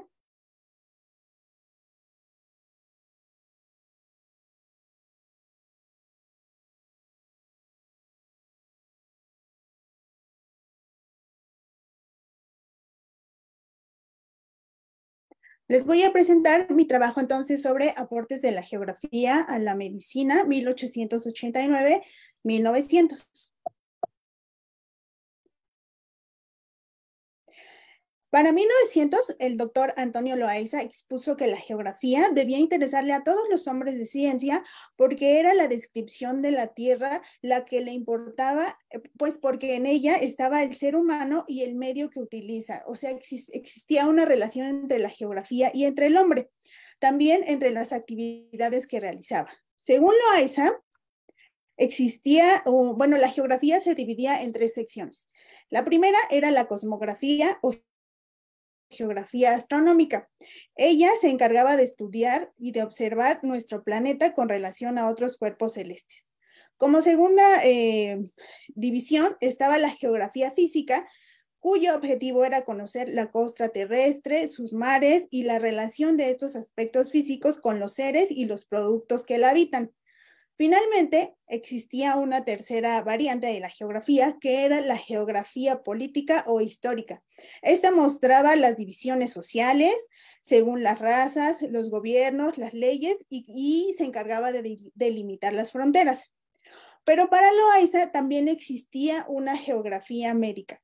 Esta se encargaba de describir a la Tierra en relación con las enfermedades. ¿Y cuál era la importancia entre la geografía y la medicina? A decir de Loaiza, sin estas, dos, ciencias, los gobiernos ignorarían cómo y de dónde se importan ciertas enfermedades. Por ejemplo, México desconocería que el pueblo asiático transmite el tracoma, esta es una enfermedad de los ojos, o también desconocería que el puerto de San Francisco introduce la peste negra a Mazatlán. En suma, decía eh, Loaiza, Al consultar la geografía médica, los gobiernos toman en cuenta los límites, las distancias, las entidades que forman la República Mexicana y así no se equivocarían al definir una enfermedad entre estos estados. Aquí en este cuadro les presento algunas de las geografías médicas más importantes de este periodo de estudio. Y al hacer una revisión de estas geografías médicas, me encontré que hay muchos textos que los médicos utilizan de la geografía. Por ejemplo, para 1897, al escribir apuntes para el estudio del clima de México, el doctor Domingo Orbañanos consultó el Atlas de la, el Atlas de la República Mexicana de Antonio García Cubas y también utilizó informes meteorológicos del ingeniero Santiago Bárcenas. Para 1881, al escribir la geografía médica, la memoria sobre el mal del pinto, el doctor Gustavo Ruiz Sandoval también menciona que tomó varios textos de, Antonio García y Cupas, pero que consultó el boletín de la Sociedad de Geografía y Estadística, específicamente la memoria sobre el distrito de Hidalgo en el estado de Guerrero. Pero también creo, bueno, eh, en mi hipótesis es que además de utilizar estos textos geográficos, los médicos no se conformaron con solamente tomar los datos, eh, eh, plasmarlos en su trabajo, sino que incorporaron técnicas geográficas a su trabajo. Por ello, les voy a presentar tres de las principales. En primer lugar, tenemos la observación, y es que los médicos aprendieron a observar la relación del medio natural con, sí, del medio ambiente con la salud. En segundo, tenemos la definición de su espacio local y como tercera técnica geográfica utilizaron instrumentos meteorológicos. Les voy a presentar cada una de ellas. En primer lugar, la observación. En 1891, el doctor Fernando Altamirano realizó un viaje de San Luis Potosí a Tampico. Su objetivo era conocer el país, visitar lejanas comarcas como viajero observador. Él pretendía aumentar su conocimiento de la flora y clima de aquellas regiones, observando el terreno, coleccionando ejemplares y recogiendo notas de los habitantes. Altamirano acepta que la inquietud por el medio fue adquirida por Richard Strake, miembro de la Sociedad Geográfica Británica, quien explica, y abro cita, que el peón de la ciencia va a buscar a los cuatro rincones de la Tierra observaciones y hechos que el sabio analiza, compara y aproxima en el gabinete o en el laboratorio. Cierro la cita. Como segunda técnica geográfica encontramos la delimitación del espacio local. Eh, en 1891, a través de cuáles son las enfermedades endémicas que se observan en la República Mexicana, el doctor Luis Ruiz declara que los miembros de la Academia Nacional de Medicina ya no se conformaban con describir la zona astronómica, los climas, eh, eh, las líneas isotérmicas, sino que era indispensable conocer en síntesis los factores geográficos, porque ellos definen cada localidad y no simplemente las grandes regiones. Entonces, con esto en mente, Ruiz propone eh, que se deba estudiar las condiciones locales de la geología, porque es indispensable conocer la estructura de la Tierra, ya que desde sus, desde sus entrañas se toman frutos que consumen los animales y las poblaciones. Así también es necesaria observar el agua de la localidad, pues toma color de las capas geológicas que atraviesan el líquido y en muchas ocasiones estas aguas promueven las enfermedades. Em, para 1892, el doctor A. Aceves, en su, en su texto que es Higiene, Noticias sobre Indicaciones Meteorológicas de Guadalajara, considera que el estudio higrométrico y ozonométrico del aire, los cambios de temperatura, la abundancia o escasez de lluvia y la electricidad de las nubes aturdían a los seres humanos o al cuerpo humano, porque existía una baja notable, eh, baja notable en el barómetro que trastorna el equilibrio entre la presión exterior que ejerce el aire sobre el cuerpo humano y la de los fluidos elásticos contenidos en el interior de este, lo cual ocasionaba constantes apoplejías, fulminantes hemorragias, tanto pulmonares como nasales. Por ello, como tercera em, eh, técnica geográfica que nosotros promovemos es el uso de instrumentos meteorológicos.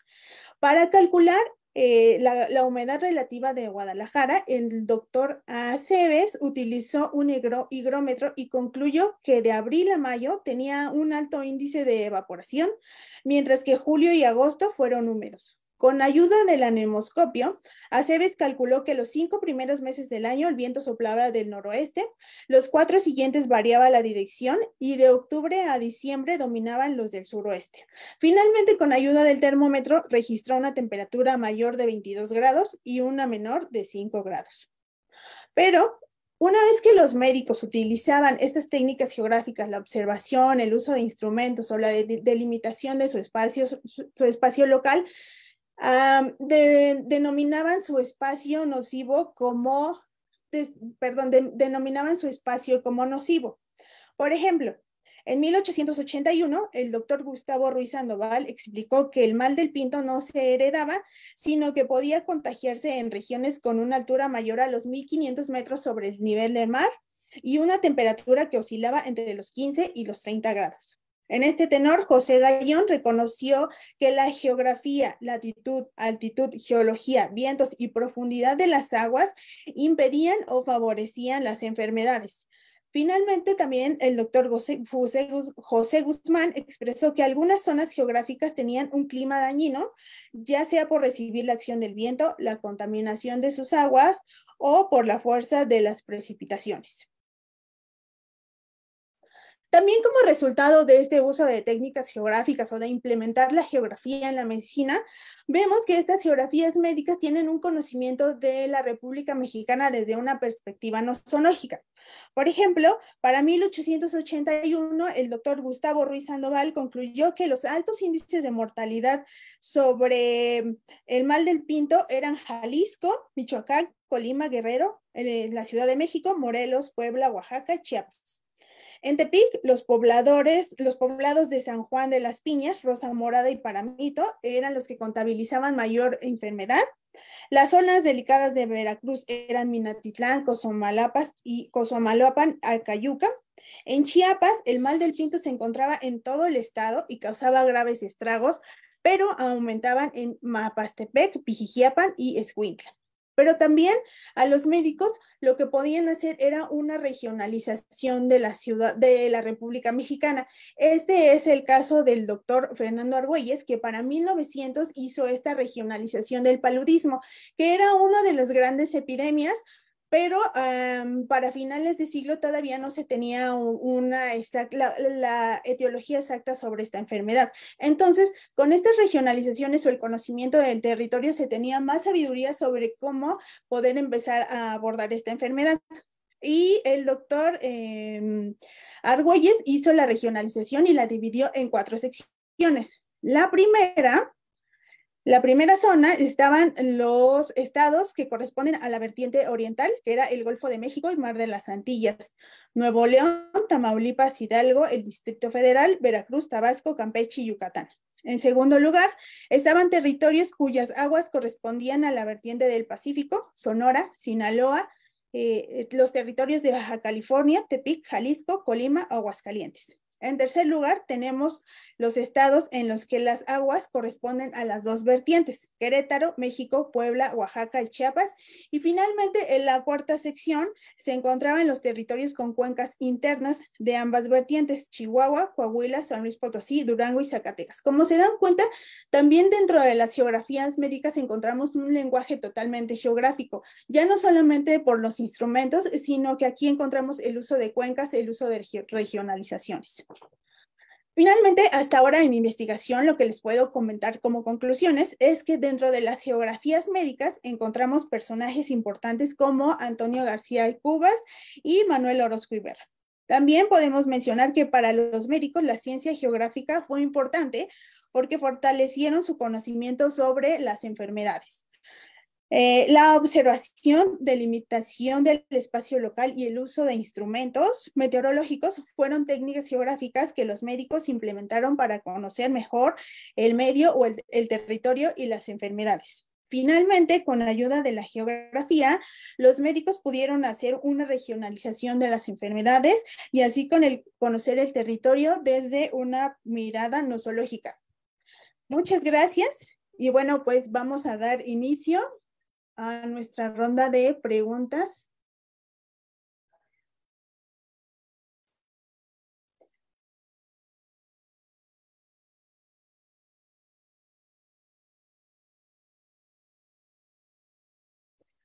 Ah, vamos a ver. Como,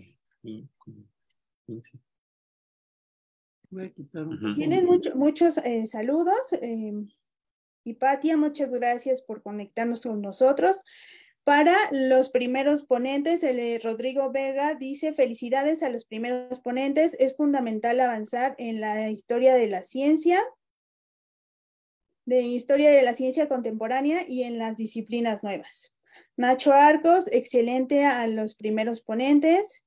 Mm, una pregunta para Denise, por favor. Les voy a hacer las preguntas que tengamos en nuestro chat y las vamos contestando así como fuimos avanzando en nuestra mesa. Eh, Denise, la primera pregunta. ¿Paino publicó de forma constante en el boletín o solo de repente? Y tu segunda pregunta, Denise. ¿De qué forma consideras que convivió esta perspectiva científica de Paino con su producción literaria. Ahorita te doy la palabra, Denise.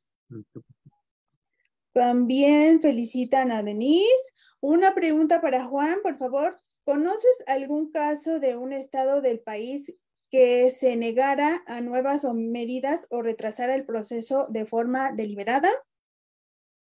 Y una pregunta para mí, este tipo de conocimientos eh, contaron con algún aparato de difusión. Muy bien. Entonces, por favor, Denise. Ah, ok. Bueno, pues primero que nada, muchas gracias a todos por sus comentarios, por sus felicitaciones. Y respecto a las preguntas, igual las cuales agradezco mucho, eh, respondiendo a la primera, eh, sobre si era recurrente las publicaciones. Eh, hasta el momento los textos que yo he encontrado sobre Manuel Paino eh, en el boletín, hay unos que, en, un principio reflejan que su colaboración es como muy esporádica, porque encuentro textos eh, de, con fecha de 1858 y de ahí se brinca hasta el año de 1863 y 1864. Entre 1858 y 1863, pues no, realmente no he encontrado yo más, más artículos o más textos de su autoría. Eh, ya de ahí eh, pasa hasta el año 1867 eh, y posteriormente ya hasta 1869 es cuando se da la mayor producción de textos por parte de Paino. En, la mayoría de los textos que yo tengo enlistados eh, son de 1869 y hay solamente creo uno de 1870.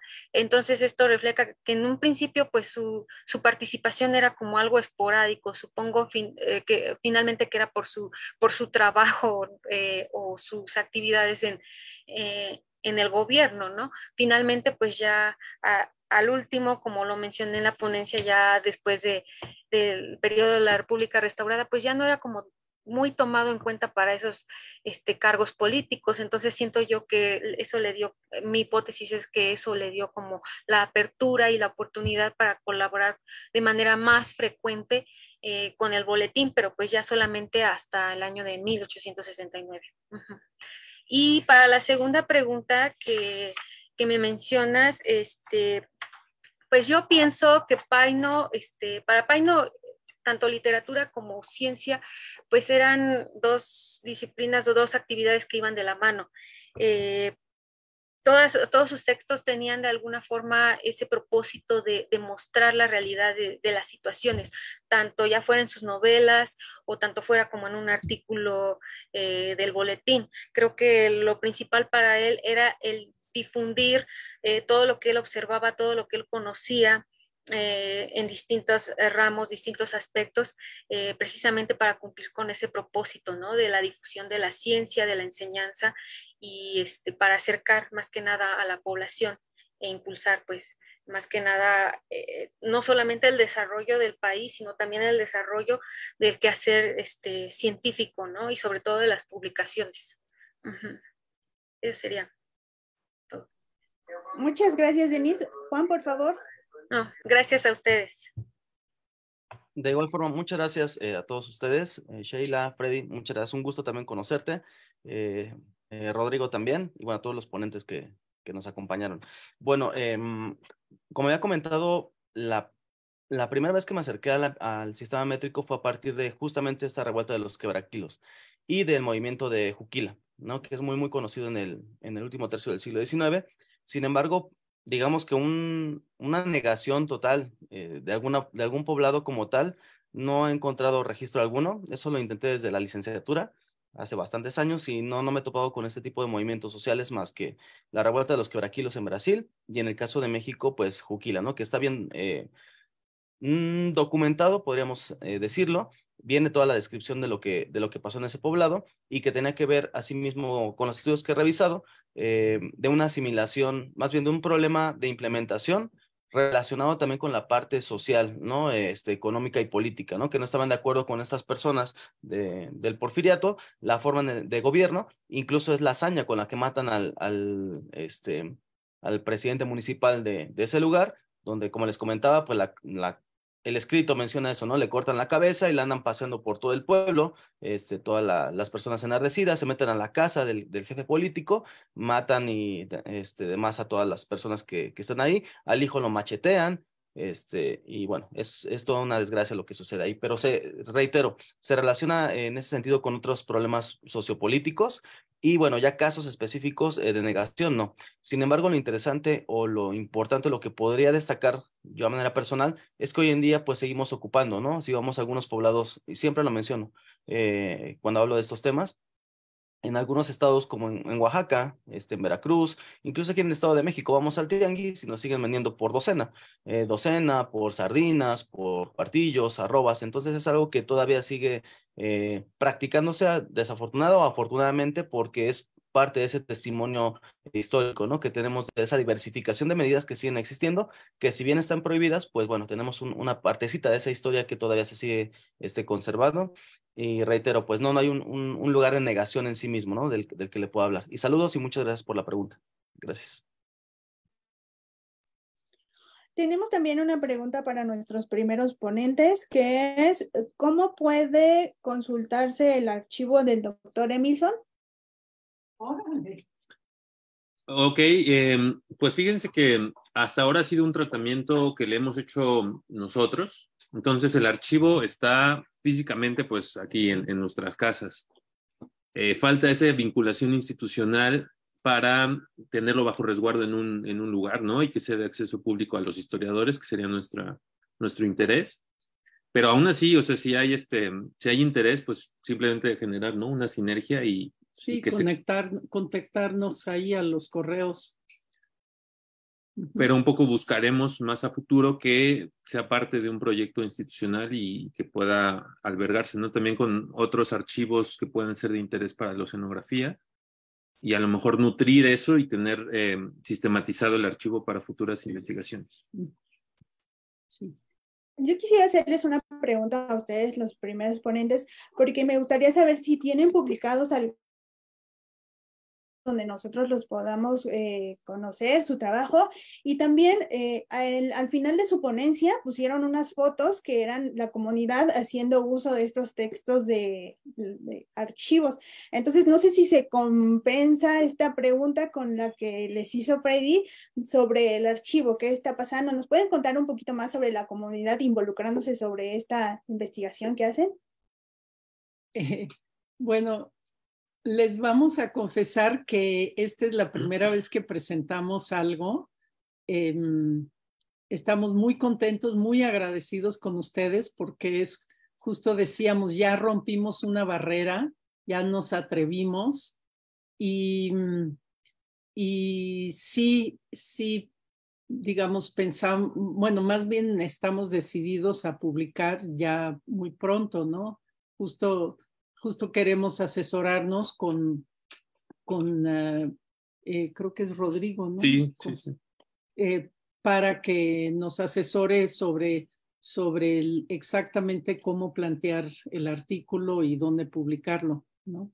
Y, y ciertamente, em, o sea, aquí es una sinergia entre Alonso y yo. Yo no soy investigadora de la ciencia, soy estoy, trabajo con lenguas y análisis del discurso, pero sí había hecho trabajos hace años eh, de antropología de la construcción eh, científica, del desarrollo científico. Entonces, em, al morir mi papá hace siete años, yo decía, es que sí es muy importante eh, sacar a la luz este, esta beta de reflexión, porque me quedaba muy, muy claro, y no era por ser su hija, sino por el tipo de bagaje que tengo, de que él jugó un papel muy importante, aunque él fuera muy modesto, y, y, por lo que él me platicaba y entrevistas y eso me, empezó a quedar muy claro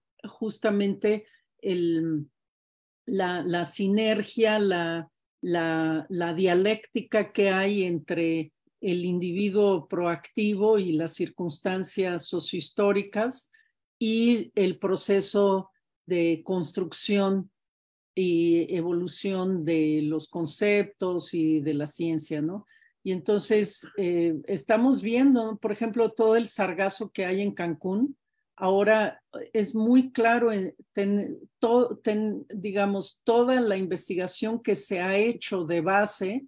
Eh, hubo, hubo uno en mil, un proyecto muy fuerte internacional llamado GATE en 1974 que claro, a mí me tocaba la parte anecdótica, pero recuerdo muy bien todo ese proceso donde estaban estudiando la relación de la, la meteorología y, la oceanografía y mostraban cómo las corrientes del Amazonas, desde el Amazonas, subían a Cancún.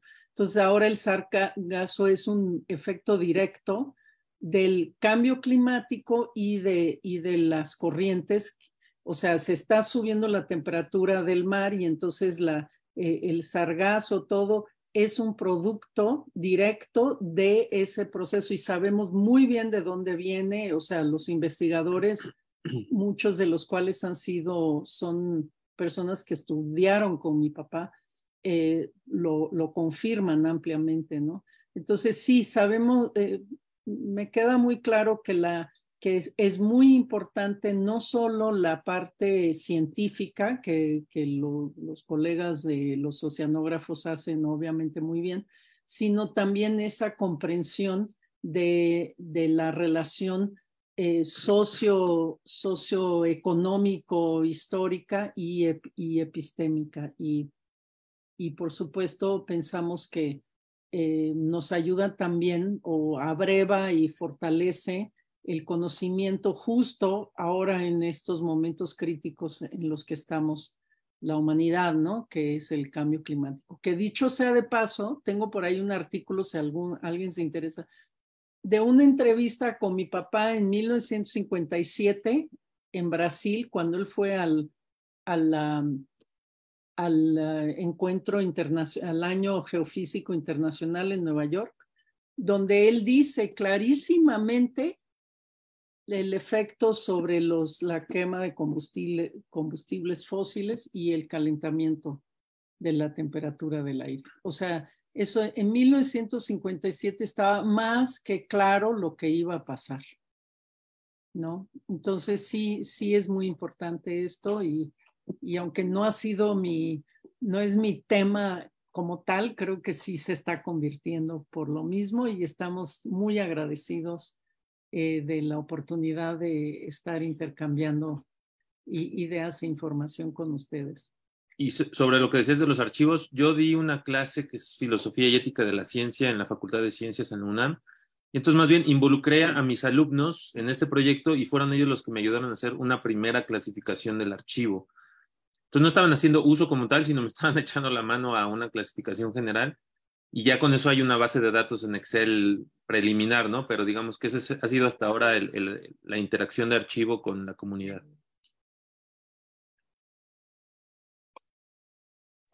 Ok, muchas gracias. Creo que ya no tenemos más preguntas. Entonces podemos dar por terminada esta primera mesa. Si ustedes tampoco tienen algún comentario bueno, yo nada más eh, rápidamente que ya estamos a, ya estamos este, un poco pasados de tiempo, pero sí no, no quiero dejar pasar la oportunidad. Primero para felicitar a todos los ponentes. Me parece que eh, es una de las funciones que cumplen justamente estos coloquios, que eh, podemos intercambiar ideas. Ahora bien, eh, personalmente a mí me parece muy interesante la investigación que presentan nuestros compañeros Alonso Pérez y la doctora Emilson, porque justamente yo trabajo geología del petróleo. Entonces, eh, cuando empezamos a trabajar estos temas del petróleo, nos damos cuenta que a partir del 38 hay como una coyuntura donde comienzan a desarrollarse estas ciencias más jóvenes. Bueno, en el caso de la geología relativamente más joven, porque realmente tiene una historia más eh, antigua, desde el siglo XVIII. La geología del petróleo comienza a partir del 1900 en México, Ezequiel Ordóñez, Juan de Dios Villarero, algunos otros ingenieros, pero particularmente eh, después del 38 justamente se comienzan a desarrollar estas ciencias con más, con más ímpetu. Y en el caso de la oceanografía, justamente también tiene esta relación muy estrecha con esta idea de buscar, de encontrar petróleo en el fondo del mar. Y, pues por ahí un personaje interesante, Guillermo Pedro Salas Guerra, que justamente es el que también eh, eh, pues gestiona la, la, fundación de este instituto de, de Limnología ¿no? en, el, en, la UNAM. Entonces, felicitarlos, la verdad es que qué bueno que se animaron a presentar su ponencia y ojalá que pronto puedan organizar su artículo para poderlo consultar. Y referente al, al archivo, justamente también por eso mencionaba, porque considero que puedo encontrar algunas ligas interesantes con mi trabajo de investigación. Que tengan este, un buen día y felicidades a todos. Tomemos, luego tomamos su información para estar en contacto. Muchas gracias. Gracias. Bueno, pues si ya no tenemos ninguna duda o más comentario, vamos a dar por terminada esta primera mesa. A los que están viendo, nos están viendo vía redes sociales, por favor no se olviden de consultarnos. Eh, también tenemos nuestra página que es www.iem.org. Ahí tenemos muchísimas publicaciones de libre consulta, por favor no olviden. Eh, recuerden que también en YouTube estamos como IEMMX, Instagram arroba IEMAC y en Facebook IEMAC. Eh, vamos a tener nuestras dos siguientes mesas. La, siguiente, la segunda mesa empieza a las 12. Vamos a hacer una pausa y nos vemos en adelante. Gracias a todos nuestros ponentes. Feliz día. Lindo día. Gracias. Gracias.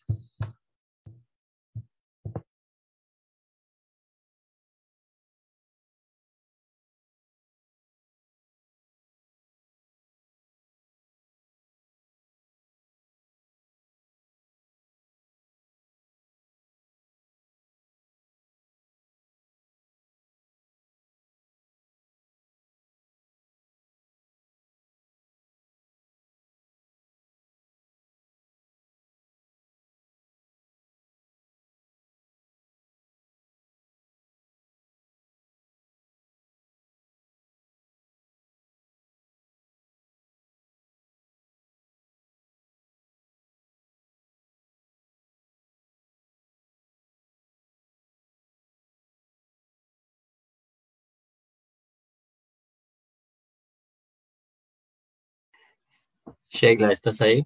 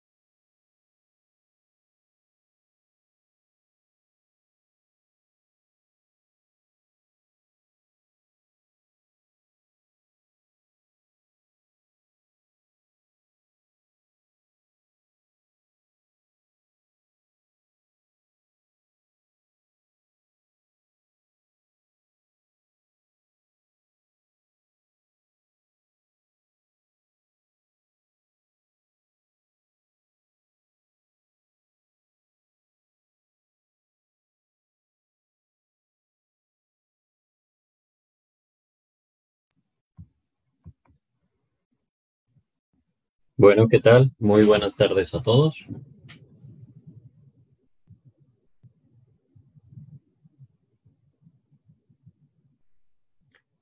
Buenas tardes. Bueno, pues eh, vamos a dar comienzo entonces a la segunda mesa de este coloquio, el estudio histórico de las ciencias, propuestas metodológicas para su investigación en su cuarta edición. Eh, pues sin más, vamos a comenzar. Em, tuvimos un pequeño retraso de una de nuestras ponentes. Me gustaría en este sentido, em, bueno, pedirle a Gabriela Villaseñor Alejandre, quien nos eh, acompaña de la Facultad de Historia de la Universidad Michoacana de San Nicolás de Hidalgo, que proceda a presentar su ponencia titulada La formación académica de tres ingenieros en el Colegio de Minería. Bien, adelante Gabriela y nuevamente bienvenidos a todos a esta segunda mesa.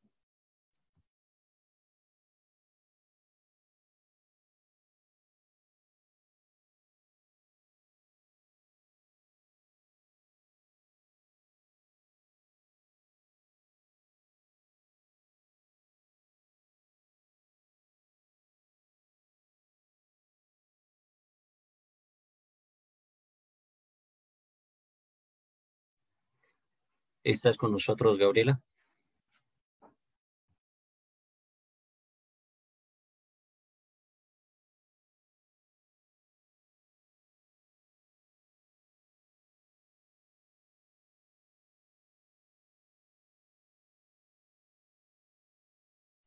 Bueno, al parecer hay, una, hay, un, hay un problema técnico. Eh, de cualquier manera, eh, si si existe la posibilidad, Cristian Michel García Sánchez, te agradecería bastante si pudieras presentarnos entonces tu ponencia titulada Avances para el estudio del alcoholismo a través del periódico de la Sociedad Fraternal Médico-Farmacéutica de Guanajuato en el periodo de 1886 a 1888.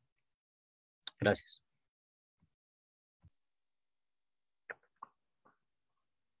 Hola, buenas tardes a todos. Eh, nada más, si, si, me podrías confirmar si se escucha, eh, Freddy. Sí, Cristian, adelante, se escucha, se escucha muy bien. Mm, ahí.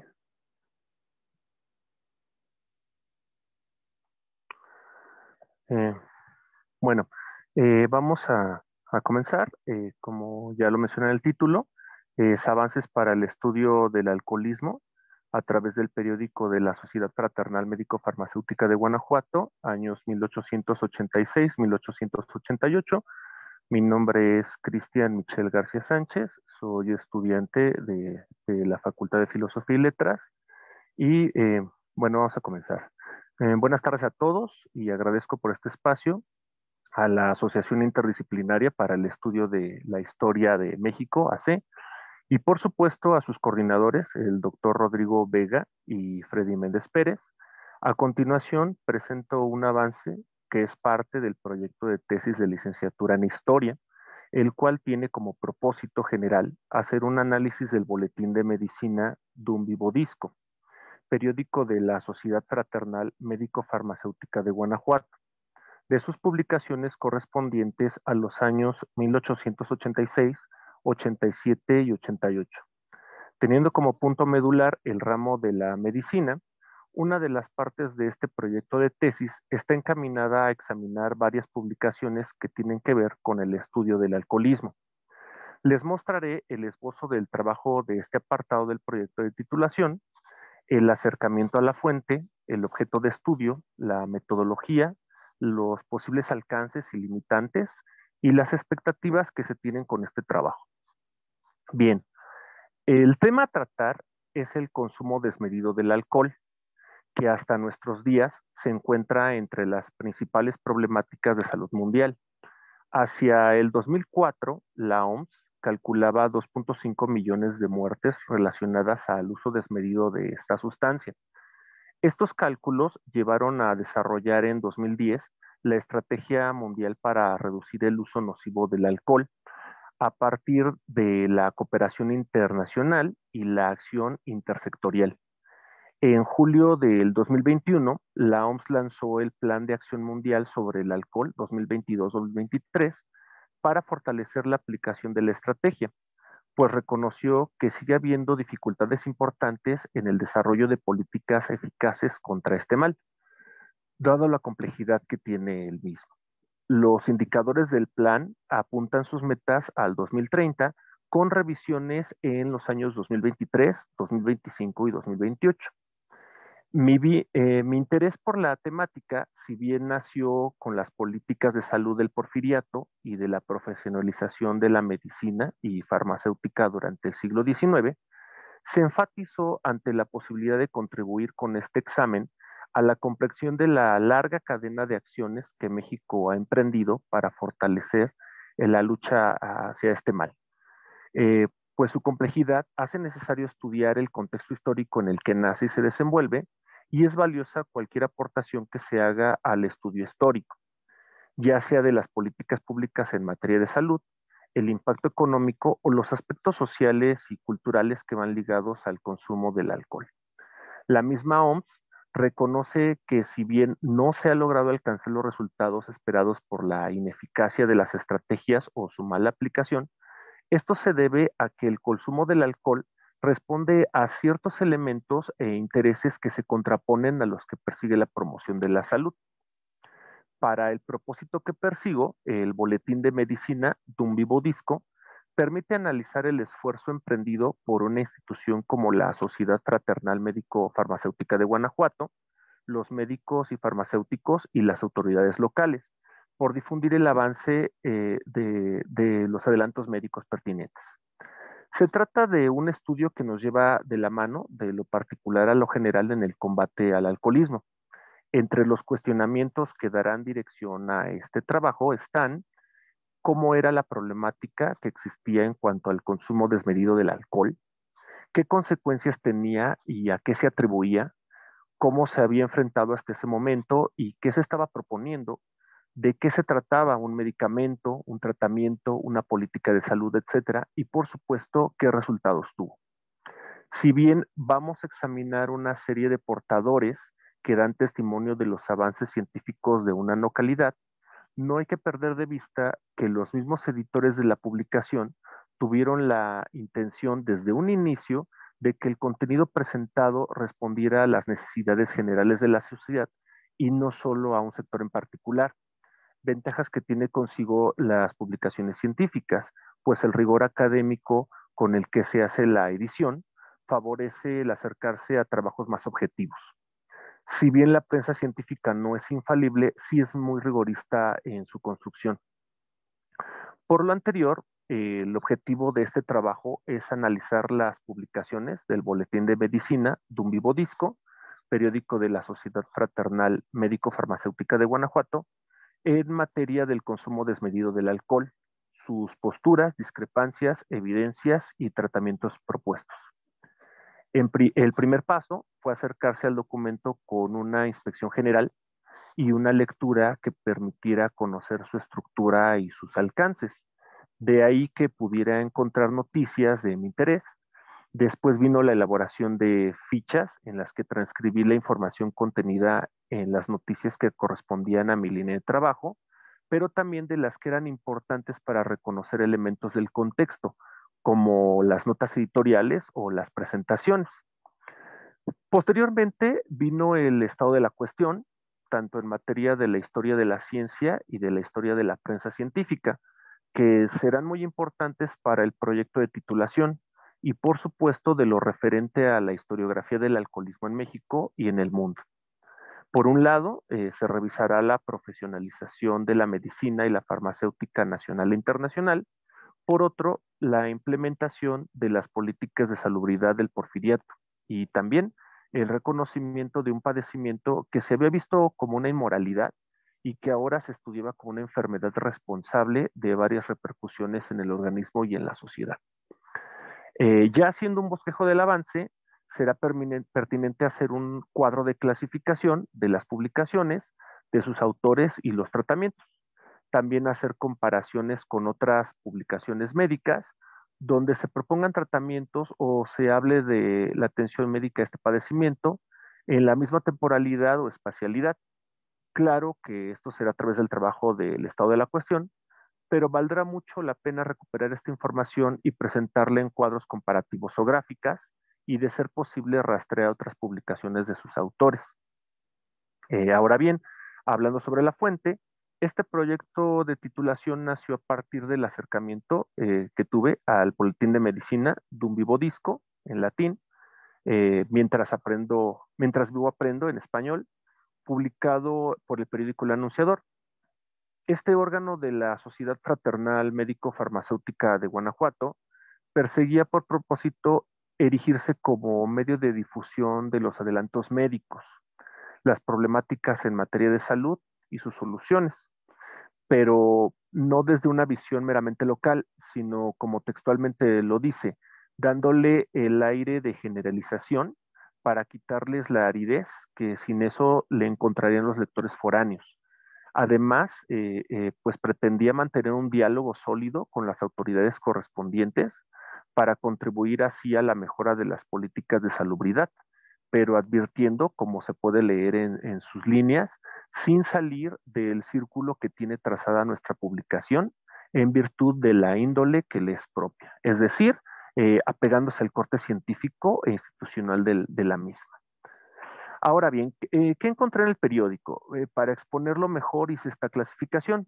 Los artículos que denuncian las consecuencias que conlleva el consumo desmedido del alcohol, los tratamientos para combatirlo y las opiniones presentadas sobre dichos tratamientos. En el primer rubro están los llamados que el boletín hace a sus lectores para el reconocimiento de los estragos que hace la bebida y habla no solo de afecciones como la disentería y los daños al hígado, sino también de los problemas sociales como la inseguridad. Aquí es importante señalar que van a publicarse también artículos de, sobre la discusión que se tuvo en cuanto a reconocer el abuso del alcohol como responsable de estas cuestiones. Eh, este debate que seguro se dio en muchos sectores y que se debe seguir dando, iba desde discrepar entre qué bebida alcohólica era en realidad la responsable de tal daño o cuál causaba más estragos, si en verdad el alcohol era responsable de los problemas de seguridad y qué repercusiones tendría el presentar al alcohol como un mal. Incluso eh, se presentó un extracto del artículo de Mr. Fogny Duflex eh, que publicó la Review Scientific eh, titulado Defensa del alcohol. En cuanto al rubro de los tratamientos, no solo es la mayor cantidad de publicaciones que se pueden encontrar, sino que podemos también apreciar en ellas este proceso y rigor científico que los miembros de la sociedad eh, los médicos y farmacéuticos eh, tuvieron en las producciones.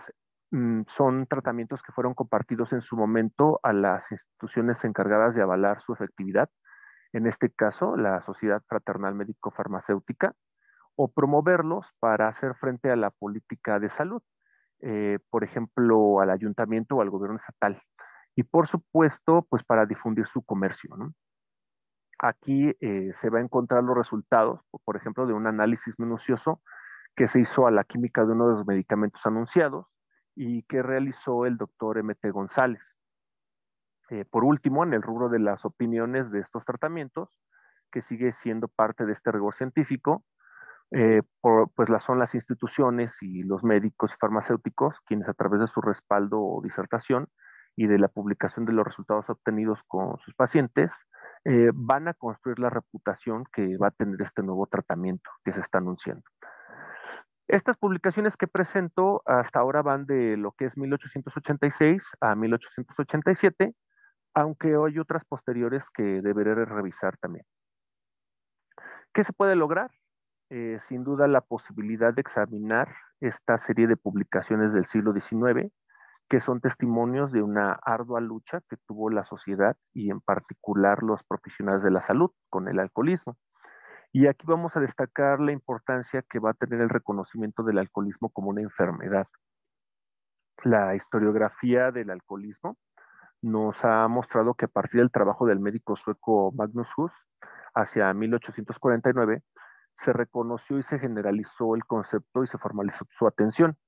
Eh, sin embargo, eh, si bien se le reconoce a Hus esta aportación, desde antes en muchas partes del mundo se diagnosticaba y se trataba el consumo desmedido de las bebidas embriagantes llamado delirium tremens, eh, locura de los bebedores, manía atumulentia, manía POT o encefalopatía crapulosa. Estamos hablando de una enfermedad que es conocida como tal hace menos de 200 años, ¿no? Y en términos factuales, pues tiene mucho menos. Eh, una de las principales dificultades para su atención precisamente es que grandes sectores de la sociedad y los mismos pacientes tienen dificultades para reconocer el alcoholismo como una enfermedad y no solo como un vicio o una mala costumbre. Y es una situación que, es de las mayores barreras que tiene para, para combatirlo. Eh, por otro lado, la publicación del análisis de los medicamentos que hizo el boletín es parte fundamental de la metodología científica. Gracias a ello mejoran los tratamientos farmacológicos, es algo vital en la farmacéutica podemos ver hoy en día que hay pocos fármacos que son efectivos para el combate de esta enfermedad o que son inaccesibles. Eh, algunos como el acamprosato o el disulfiram, por ejemplo, siguen buscando incidir en el mismo punto que pretendían sus antecesores, que es reducir el deseo de beber o, inhibir la metabolización del alcohol generando náuseas o vómitos.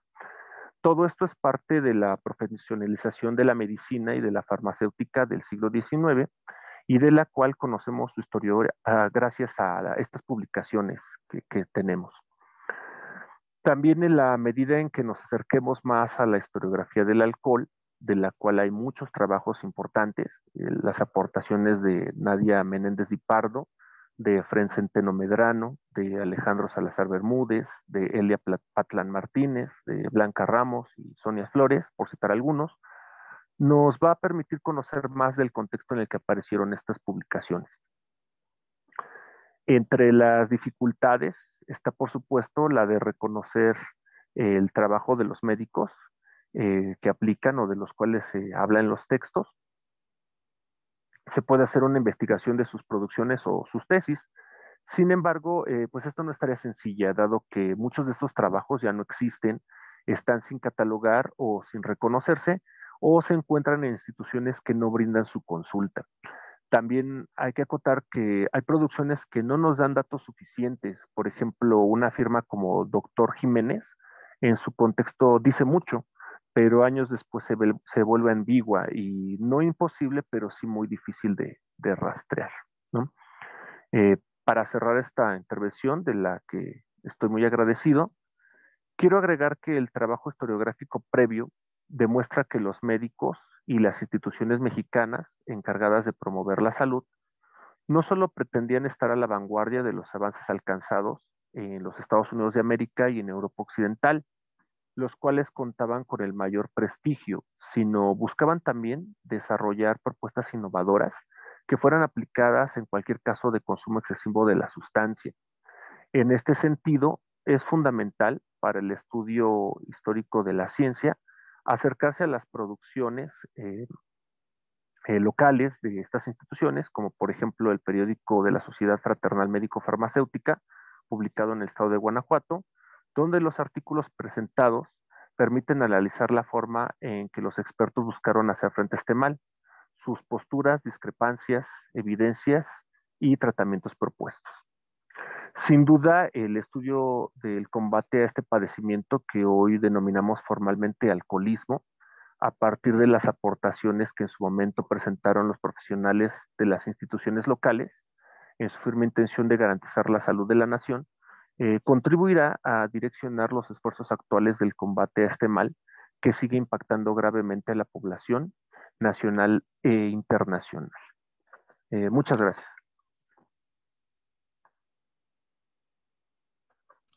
Bien, pues muchas gracias a nuestro ponente Cristian por esta interesante ponencia donde nos ha hablado justamente de, de cómo se va eh, generando el conocimiento médico en torno a un problema de salud pública, como lo es ahora el alcoholismo, como ahora lo conocemos, tal como él lo comenta.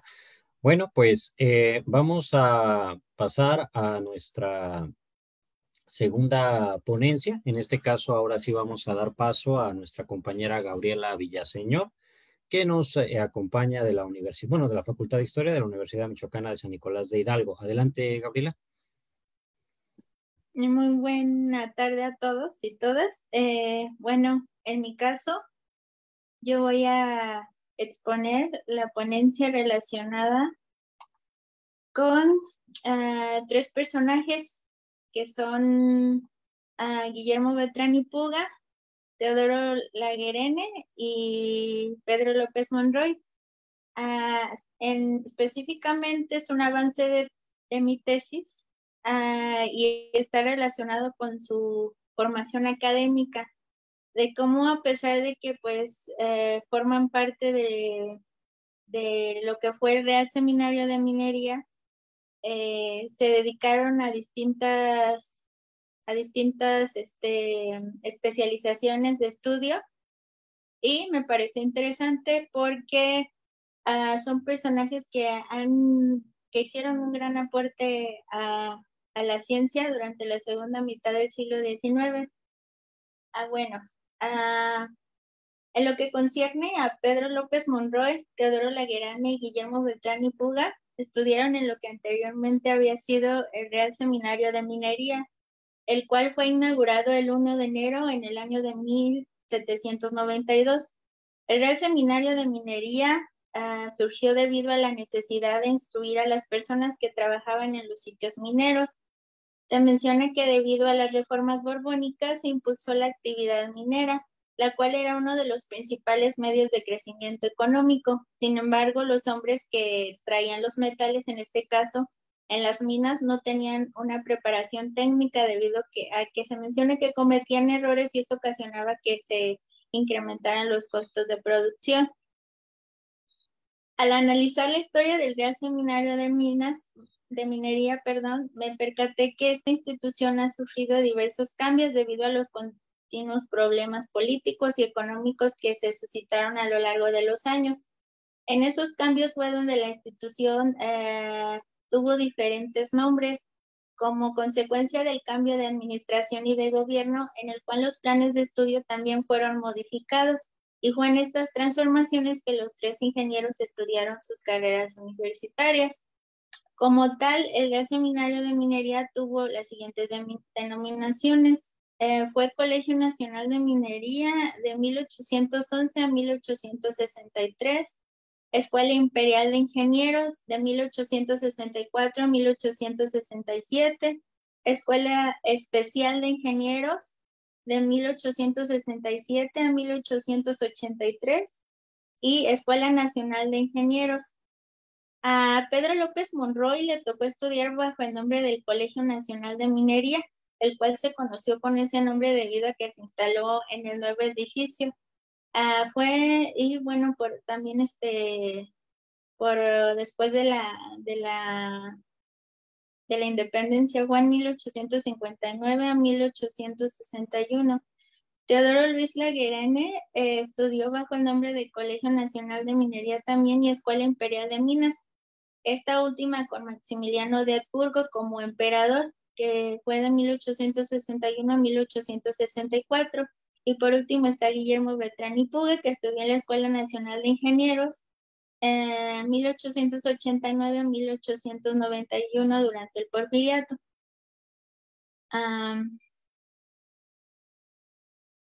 En lo que concierne a Pedro López Monroy, este terminó sus estudios en la Escuela Práctica de Minas de Fresnillos. Bueno, en este caso, ah, para poder explicar un poco, en la Escuela Práctica de Minas de Fresnillos se dio ante la falta de, práctica en las, eh, más que nada, bueno, en, el tema de los planes de estudio se menciona que existía más lo teórico que lo práctico. Entonces, este se necesitaba una escuela experimental en la cual los alumnos pudieran estudiar las labores de explotación metalúrgicas, realizar viajes de exploración geológica y visitar las instalaciones mineras y metalúrgicas. Ah, en el libro titulado Comercio y Minería en la Historia de América Latina, ah, el autor Omar Escamilla menciona que el ingeniero de minas Antonio del Castillo presentó un proyecto al gobierno de Mariano Arista en el año de 1851 Permítame tantito que ya, a ver. Ok, mm, en el cual incluía la creación de una escuela práctica de minas. Sin embargo, no se concretó sino hasta el 30 de julio de 1853. Para poder llevarlo a cabo de la creación de la Escuela Práctica de Minas y Metalurgia de Fresnillo, este, se necesitó de apoyo económico y fue gracias a la compañía Zacatecano-Mexicana y a su, eh, también a las negociaciones del Ministerio de Fomento, Colonización, Industria y Comercio que se logró su apertura. Ah, los cursos de la escuela, en este caso, iniciaron el 18 de febrero de 1854 en Fresnillo, Zacatecas. Y bueno, eh, los alumnos debían de realizar sus prácticas durante dos años. En el primero se cursaba análisis químico, explotación, dibujo y legislación de minas, mientras que en el segundo mecánica aplicada a la minería, metalurgia, dibujo de máquinas y principios de construcción, además de que pues realizaban viajes de exploración a las haciendas y minas de beneficio dirigidas por los profesores. El cuerpo académico en este caso quedó conformado por los ingenieros Pascual Arenas, Miguel Velázquez de León y Antonio del Castillo. Eh, la Escuela Práctica de Minas de Fresnillo como tal tuvo un funcionamiento regular entre los años de 1853 a 1858 y bueno, dejó de funcionar debido a problemas de guerra en que la compañía Zacatecano-Mexicana fue saqueada y la institución dejó de recibir apoyo económico y es por ello que después de dos años pudo trasladarse a Guanajuato en el año de 1860. Ah, antes de trasladarse a Guanajuato, los estudiantes de la institución tuvieron que viajar por varios estados de la República Mexicana, como Zacatecas, Aguascalientes, Guanajuato y el Estado de México, que en este caso la porción que ocupó Hidalgo en donde visitaron instalaciones mineras y metalúrgicas con el fin de realizar sus prácticas. Y precisamente ese fue el caso de Pedro López Monroy. Ah, en el periodo en que tanto los maestros como los alumnos salieron de, Fresnillo y continuaron con el estudio del territorio y sus recursos, se le conoce como la escuela itinerante. Eh, en este caso fue precisamente el periodo que le tocó realizar sus prácticas al entonces ensayador Pedro López Monroy. Pedro López Monroy inició sus estudios el 17 de febrero del año de 1859, por lo cual le tocó trasladarse tanto a Guanajuato como a Pachuca para poder continuar con sus prácticas de estudio.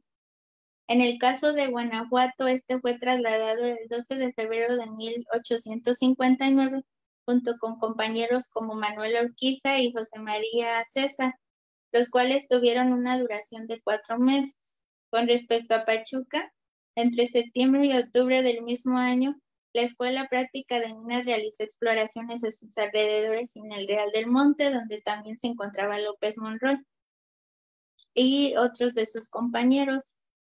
Mm, después de ese periodo de movilidad conocido como escuela itinerante, la Escuela Práctica de Minas se instaló el 18 de abril de 1860. Como tal, la instalación de la Escuela de Minas en Guanajuato se debió al apoyo del gobernador de ese estado, Manuel Doblado, el cual se menciona tenía una influencia política importante. Además de que el estado de Guanajuato pues era uno de los más importantes del país con respecto a la industria minera y la inversión pero la etapa no fue duradera ya que el gobernador fue nombrado por el gobierno federal como secretario de Relaciones Exteriores, lo cual impidió que siguiera apoyando a la institución. Ah, los catedráticos de los cursos y libros de texto que se utilizaron en la Escuela Práctica de Minas de Guanajuato ah, fueron incluidos en el anuario del Colegio de Minería de 1859 ya que formaba parte del programa global de institución incluido en la reforma educativa del año anterior. Con respecto a los profesores, estos siguieron ah, los mismos, uh, siguieron siendo los mismos que en la Escuela Práctica de Minas de Fresnillo, o que en el periodo itinerante y por siguiente la distribución de los cursos era igual.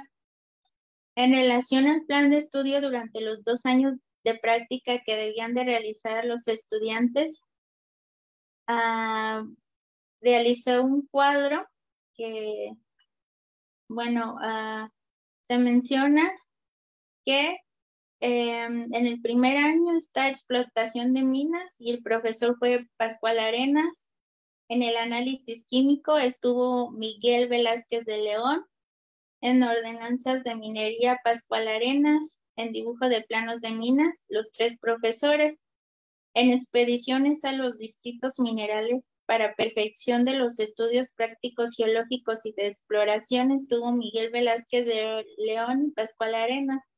En el segundo año, ah, en metalurgia dio clases Miguel Velázquez de León, en mecánica aplicada de la minería Diego Velázquez de la Cadena, en principios de construcción, Diego Velázquez de la cadena también.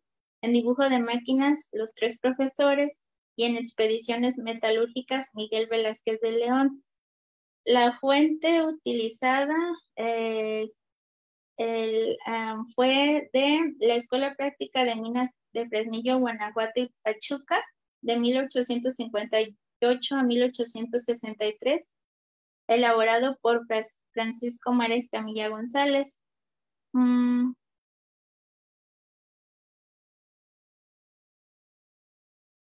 Con respecto a los estudios ah, de Pedro López Monroy, continuando en la Escuela Práctica de Minas de Frenillo, en este caso específicamente Guanajuato, el 18 de enero de 1861 Velázquez de la Cadena como profesor realizó un examen de análisis químico del cual eh, pues Pedro López Monroy fue aprobado y posteriormente el mismo profesor le realizó una prueba de metalurgia la cual también aprobó y se menciona que obtuvo buenas calificaciones.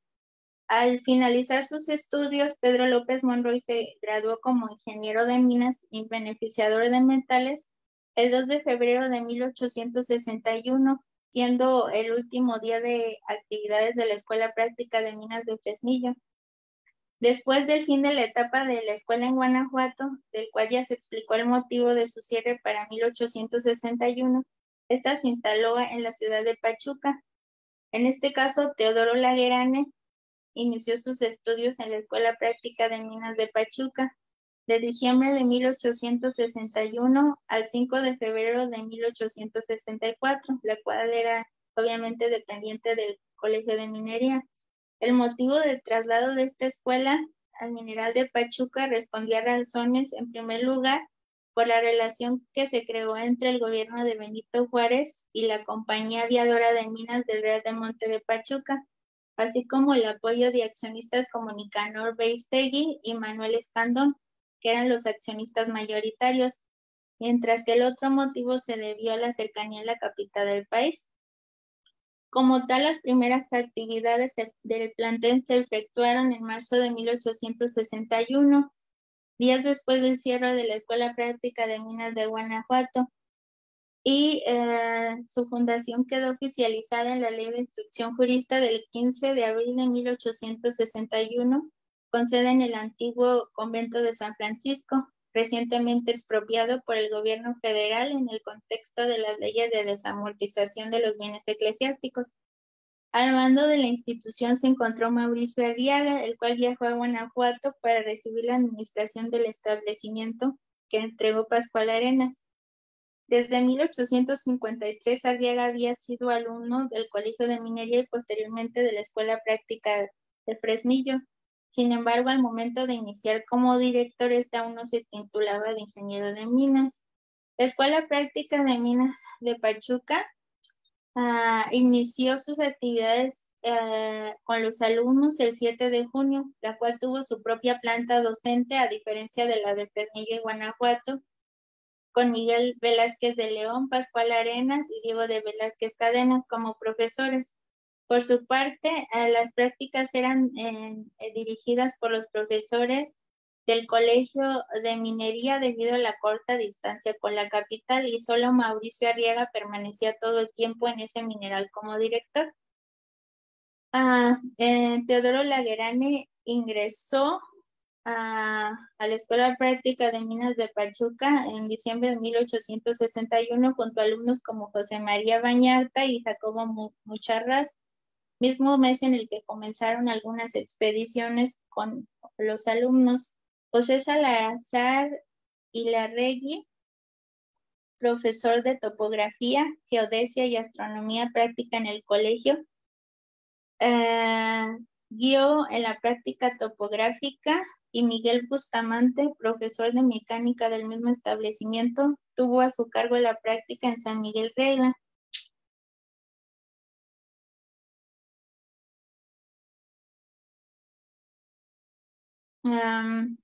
¿Qué más? A ver.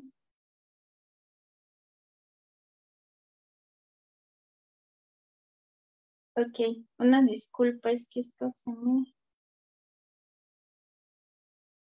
Se me fue. Ok. bueno, continuando, Teodoro Laguerane. Bueno, para continuar, en enero de 1862, Antonio del Castillo dirigió las expediciones de la práctica de geología e Ignacio Hierro las de química y metalurgia.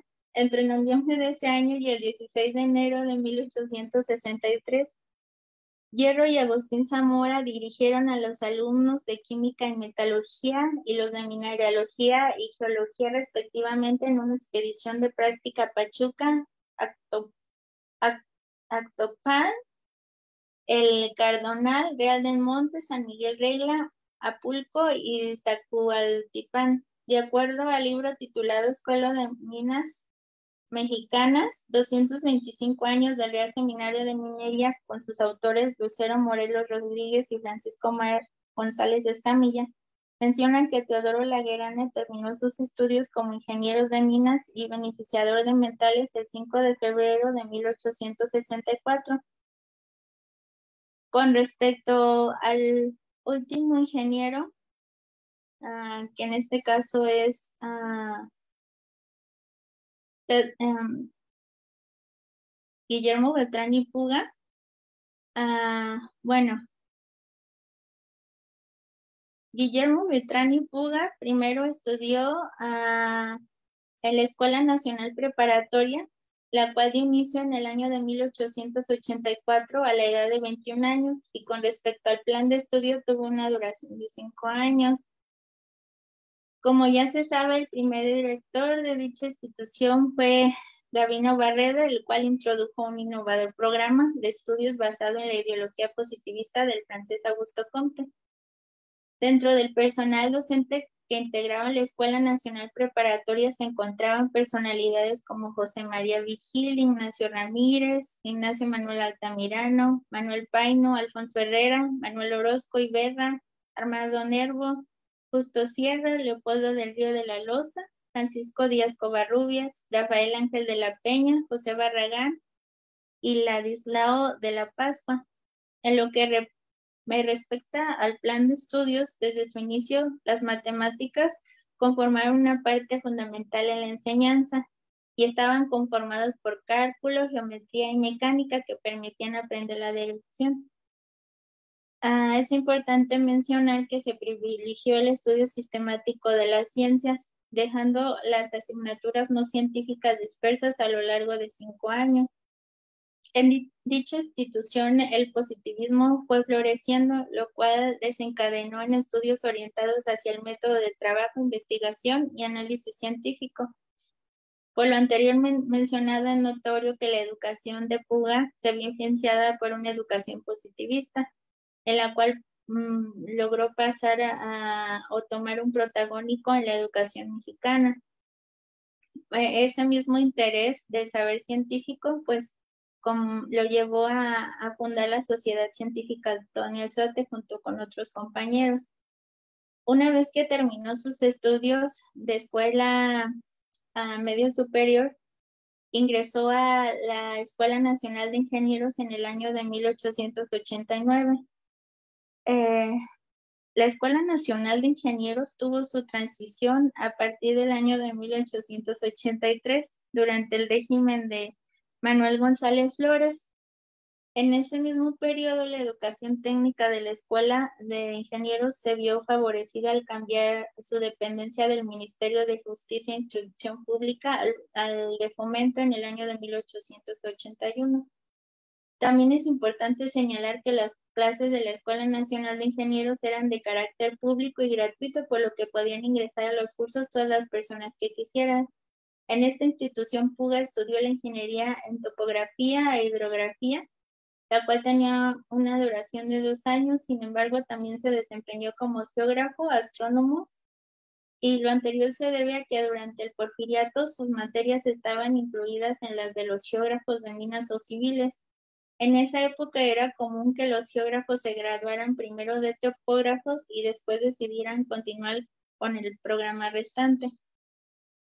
Aunado anterior y a la estrecha relación entre la geografía y la astronomía durante el último tercio del siglo XIX, se puede deducir el porqué del interés y el conocimiento de este ingeniero en, en la astronomía, inclusive en el cual de estudios que presenta Héctor Mendoza Vargas en su artículo titulado Los ingenieros geógrafos de México, los orígenes académicos y los desafíos del siglo XIX, se muestra que a partir de 1883 en la ingeniería de geografía tenía una duración de tres años e incluía la astronomía como materia de especialidad.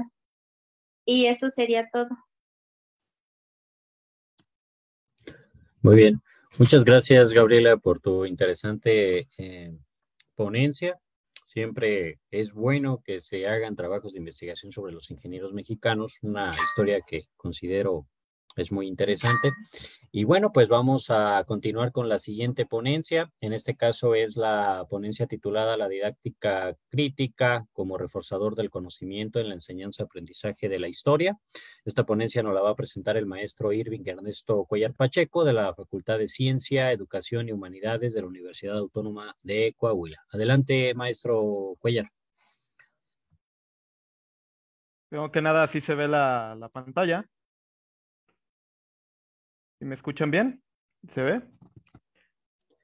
Sí, adelante, adelante. Primero que nada, agradeciendo a la Asociación Interdisciplinaria para el Estudio de la Historia de México. Y este, yo vengo de la Universidad Autónoma de Coahuila, soy doctorante del cuarto semestre de Ciencia de Educación, Facultad de Ciencia, Educación y Humanidades. Y también eh, agradeciendo esta, estos avances de tesis que estoy realizando mi directora de tesis, la doctora Rocío Isabel Ramos Yauber, y mi codirector de tesis, Julio César Alvarado Cortés, me están dirigiendo esta, esta investigación. La didáctica crítica como reforzador del conocimiento en la enseñanza, aprendizaje de la historia. Vamos a ver uno de los avances, uno de los estudios que he hecho, que se, se lleva a una proximidad del paradigma original. Y vamos a ver Vamos a empezar con una frase que dice, todo cambia, todo se transforma, nada permanece igual.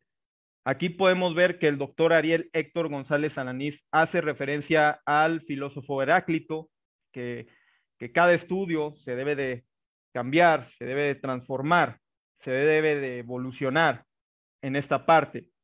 Vamos a ver que en la enseñanza, aprendizaje de la historia, en este caso, hay muchos, en la revisión de la literatura, hay muchos este, maestros como Frida Díaz Barriga, este, hay también algunos este, escritores que han escrito acerca de la enseñanza de la historia. También hace alusión también a Karl Popper, Bertrand Russell, también que han escrito algo de la enseñanza de la historia. También este, otros maestros como Ricardo Medina, aquí en el norte de, de México, en el noroeste de México, y otros maestros que se han dedicado a esto, a este estudio, ¿no? De la enseñanza de la historia. Se transforma en el sentido de que vemos de que hay estudios de la enseñanza, aprendizaje de la historia, que hay una proximidad a algo, ¿verdad? No hay ninguna verdad absoluta en esto, ¿verdad? Se tiene que estudiar más allá. La enseñanza y el aprendizaje de la historia es más allá de las cosas. Vamos a ver en mi justificación que este tema me pareció muy interesante y poco profundizado de manera muy crítica, porque a pesar de que se realizaron algunos de los estudios, ya que se debe analizar y reflexionar y proponer la didáctica crítica como reforzador de conocimientos históricos en el proceso de la enseñanza-aprendizaje. En este sentido es observar las actividades, qué es lo que se está haciendo en el aula. Vamos a ver que en este tipo de, de situaciones, ¿no? Qué actividades le das, cómo le transmites al estudiante que sea crítico en, al momento de enseñar la historia, que también se tienen que implementar actividades innovadoras, que también es medible la historia, que la historia también los antecedentes históricos del pasado tienen mucho que ver con el presente, en este caso. Vamos a ver que el proceso de la enseñanza-aprendizaje entre el emisor y el receptor, que el emisor nosotros somos como maestros y el receptor son los alumnos. Dirigir al alumno a lo que son diferentes actividades, diferentes actividades de razonamiento, ¿sí? de raciocinio. Vamos a ver que hay que implementar, hay que ser críticos, ¿no? No contarle la historia oficialista, contarle una historia muy crítica. Se tiene que fortalecer la actitud del docente para que en cada tema haya un sentido de motivación que ayude al alumno a tener un pensamiento crítico constructivista, integrándolo al proceso de la enseñanza-aprendizaje. Aquí vemos, esta es mi justificación. Yo parto de una pregunta, ¿en qué medida es importante reforzar la enseñanza-aprendizaje de la historia en las personas? Cuando hice ese estudio, mi área de trabajo, el Instituto Universitario del Centro de México, EDUCEM. Ahí voy a, voy a aplicar mi instrumento porque en su mayoría llevan materias de historia, de, son disciplinas, ¿no? De derecho, ciencias políticas, educación, psicología educativa, pero en, en varias asignaturas llevan materias de historia, historia del derecho, historia de psicología. Y yo apliqué ese estudio pues en qué medida es importante reforzar la enseñanza-aprendizaje de la historia en las personas. Eso es lo que se debe de medir. Eh, ahorita de rato les enseño en una diapositiva una, una de mis este, instrumentos, una de mis variables en las cuales se llegó a una proximidad. La descripción metodológica eh, en cuanto a la, a la aplicación de, esta, de este de, esta, de ese trabajo de tesis, pues es este preexperimental. Se aplicó el instrumento a cada uno del salón este, con secuencia metódica de tratamiento de datos, datos estadísticos, porque esta Facultad de Ciencia, Educación y Humanidades se trabaja con estadística, con paquetes estadísticos, SPS, Statistic, pero también se, se tiene que basar en una buena lectura, en un buen análisis, en una buena profundización. Vamos a ver el objetivo general. Por ejemplo, explicar la didáctica crítica para fomentar el conocimiento histórico al educando para una mejora continua en el proceso de la enseñanza-aprendizaje. Aquí vemos en la, investigación que se debe de ver qué recursos y qué, y qué elementos se deben de fortalecer la enseñanza-aprendizaje, qué áreas de oportunidad se deben de hacer. Aquí vamos a ver eh, como objetivo específico describir las cualidades de los profesores, analizando que están relacionadas a la didáctica crítica en base a la enseñanza-aprendizaje de la historia. En, esta, en este sentido, ¿qué cualidades tiene el profesor? ¿Cómo va a aplicar? ¿Qué raciocinio va a hacer? ¿Qué análisis va a hacer? ¿Cómo le va a fomentar la reflexión en este sentido de la enseñanza-aprendizaje de la historia? ¿Y cuáles, qué cualidades tiene ¿no? el profesor? Vamos a ver el docente fomentando la enseñanza, aprendizaje a sus educandos, o sea, qué secuencia didáctica llevan en clase. Vamos a ver que la secuencia didáctica tiene varios elementos, ¿sí? ¿Cómo vas a dirigir tu clase? ¿Cómo vas a enseñar algunos de las, de las cuestiones este, históricas, ¿sí? Que tienes que comentar que todo está basado en en, problemas, en también la historia, que es lo que más adelante voy a, voy a partir, y también comprobar el criterio a través de los docentes en cuanto a la utilización de la secuencia didáctica y los que no utilizan en relación con el ejercicio diario. Vamos a ver aquí eh, que tenemos que comprobar el criterio, cuáles son los criterios ¿no? de la enseñanza-aprendizaje de la historia, que también se deben de plantear eh, y se deben de poner de correlacionar la parte del presente con el pasado, o también igual cómo perciben también los alumnos el contexto social, político y económico de su localidad. Eso es lo que también tiene mucho que ver. Corroborará la perspectiva que tienen los educandos con respecto a la utilización de la secuencia didáctica dentro del aula. En este sentido, vamos a ver eh, los objetivos generales y los objetivos específicos. Y cuando apliqué mi prueba piloto a los alumnos en EduSEM, el número son 150 sujetos. Y cuando digo sujetos, son personas en este sentido. Y ya cuando se me aprobó la prueba piloto, el número son 230 sujetos y la muestra son 400. Un total de que la mayoría de sus estudiantes de ese plantel donde se está ejerciendo la enseñanza-aprendizaje de la historia en cada uno de, la, de las disciplinas de las ciencias sociales, son en los hombres son el número 83 y 34.3%. De las mujeres es el número de personas 147, 60.7%. Esos son los participantes, ese, esa manera, a manera de un instrumento de 164 variables con tres ejes temáticos de la didáctica, crítica y conocimiento, en este sentido que pongo como el título. Vamos a ver que en esto tenemos que hacer una lectura, una interpretación de los resultados, de la proximidad, de, las, de los análisis factoriales, de las correlaciones en las que se llevó esta, este tema de estudio.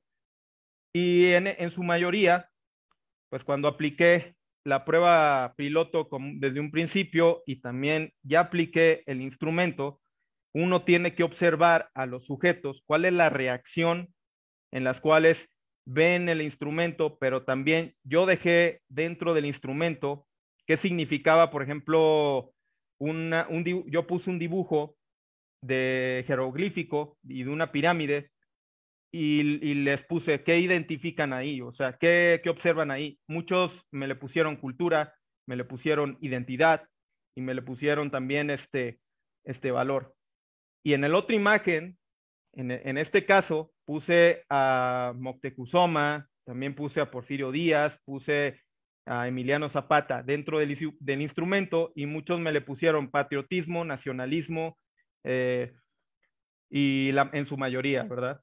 O sea, puse las variables del cero del atributo a 100 y luego puse también la imagen en este sentido, ¿sí? En este sentido sí hubo muy bajas, muy este, algunas, algunas variables fueron saliendo a partir del proceso del estudio, a partir del proceso del aprendizaje, y vamos a ver qué hipótesis me llevaron a esto. Por ejemplo, el H0, el H negativo es la didáctica crítica para el reforzamiento del conocimiento de la historia, no inciden en el mejoramiento de la calidad de la enseñanza-aprendizaje de la historia. Aquí podemos ver que eh, en la mayoría es de que no existe la relación, tenemos que ver en ese estudio. La didáctica crítica para el reforzamiento en el H1 de la historia incide en el mejoramiento de la calidad de la enseñanza-aprendizaje de la historia. En este podemos ver si existe la relación y en, la, en el H2 es los educandos de la universidad, en la mayoría de los casos, tienen deficiencias en el proceso de la enseñanza-aprendizaje para reforzar el conocimiento de la historia y su problema incide en su formación académica. En este estudio es la hipótesis alternativa, es la H2. ¿Y por qué el H2? ¿Por qué?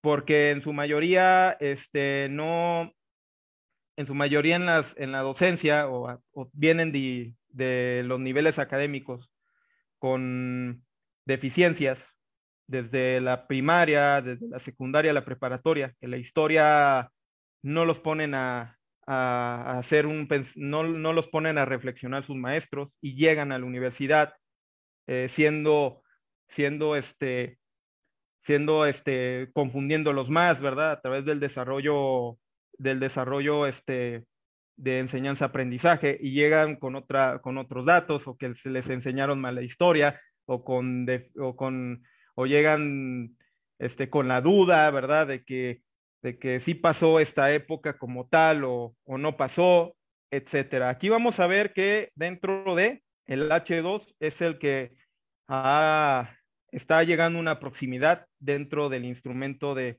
que apliqué. Y a lo que me conllevaron y a lo que doy la interpretación de la lectura estadística es el análisis factorial, factorial perdón, componente. los recursos didácticos para promover los roles de participación en el alumno. Eso es lo que me salió de una proximidad, de como, una, como un resultado. ¿sí? Estas son mis variables, que es recursos, promover, proporcionar, reconocer, retroalimentar, roles, razonar, participar y planificar. Se tienen que implementar los recursos didácticos para que promuevan el rol de la participación del alumno, pero recursos didácticos realistas, ¿no? ¿Sí? Que sean con buenos textos críticos, ¿no? O sea, con textos que sean escritos de una manera científica, en este sentido. Esa es la nota del componente factorial 1.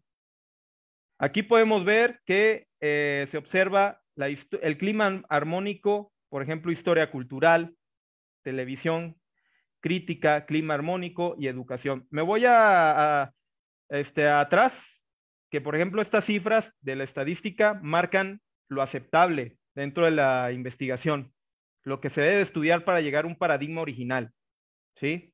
Lo aceptable del 0.7, del 0.8 y del 0.9, ¿sí?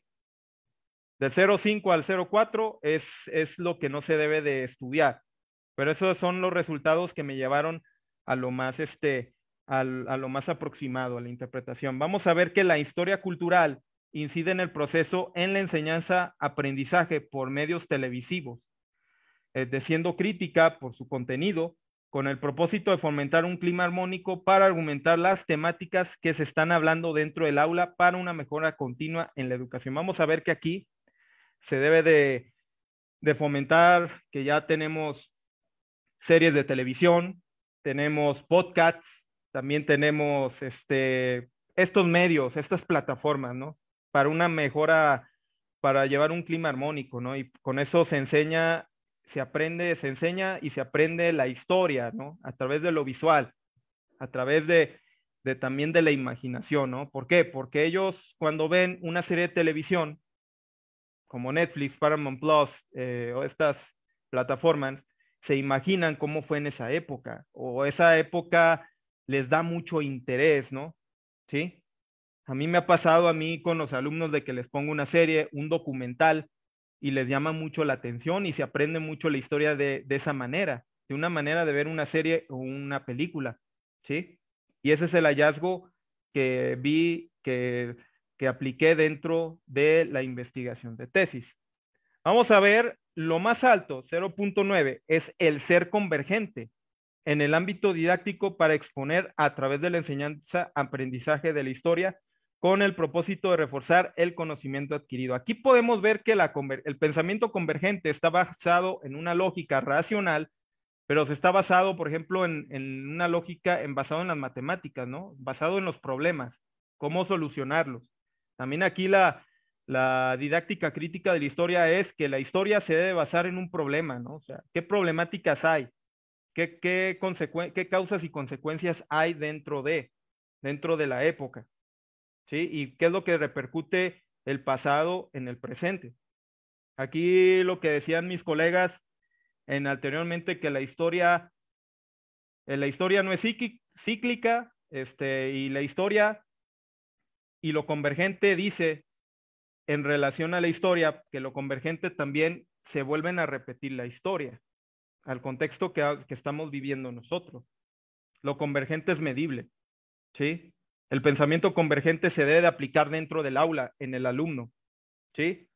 ¿De dónde converge esto, verdad? ¿Por qué? ¿Cómo razona, cómo analiza, reflexiona y cómo resolverías este problema? Porque muchos dicen en una, en una frase, en una frase dicen, si la historia, el, que no estudia la historia está condenado a repetirla, esa es una, una frase muy choteada. Más bien, se debe de aplicar la convergencia dentro de la, de la enseñanza-aprendizaje de la historia, porque la convergencia, la convergencia es una solución a los problemas, porque la historia es parte de las ciencias sociales. ¿Sí?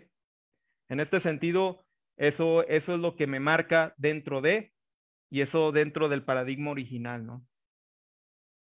Vamos a ver estos hallazgos, ya como último, los recursos didácticos inciden, promover, proporcionar, reconocer, facilitando su contenido, los roles y también se observa y el ser convergente.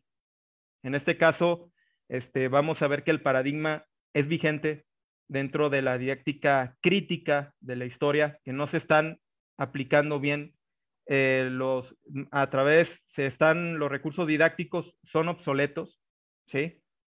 Que se deben de poner, se deben de reformar los recursos didácticos para la historia, y no nomás en, en este sentido de la andragogía, en la universidad donde aplico, también en los niveles educativos, como lo es desde preescolar hasta secundaria, lo, lo, pedagógico, educación media superior, lo pedagógico y lo andragógico, la universidad también. Vamos a ver la estadística inferencial, la correlación de Pearson, cómo, cómo este, las variables que son acción, acogedor, actitudes, actividades, adaptación, cómo me marcan en este sentido lo estudiable, lo medible, dentro de la, lo significativo, dentro de, de la historia. Vamos a ver la exigencia, la correlación de Spearman, de organizar, practicar, ordenar, lógica, argumentos, consciente, procesar, elección y conocer. En su mayoría, algunos me marcan lo estudiable, lo medible, lo que, lo que hace falta a través de la, de la contestación de estos sujetos que fueron parte del instrumento de evaluación y la correlación de Kendall, que es parte de lo más alto es recursos, promover, proporcionar, planificar, reconocer y retroalimentar los roles. Aquí está como parte de la evidencia. Eh, de mi parte sería todo. Eh, muchísimas gracias, Asociación Interdisciplinaria para el Estudio de la Historia de México. Muchísimas gracias.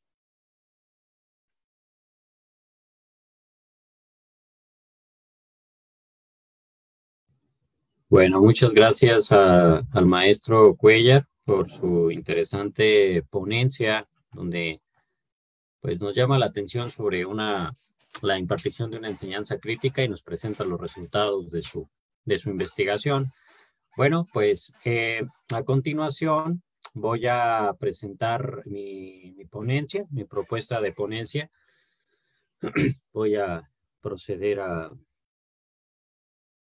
compartirles mi, mi ventana.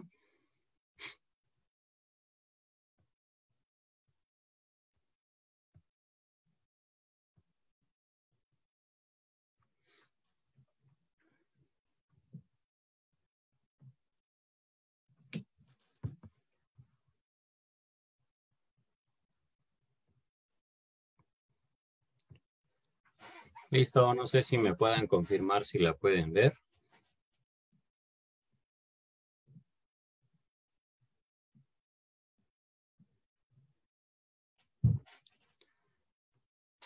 se ve.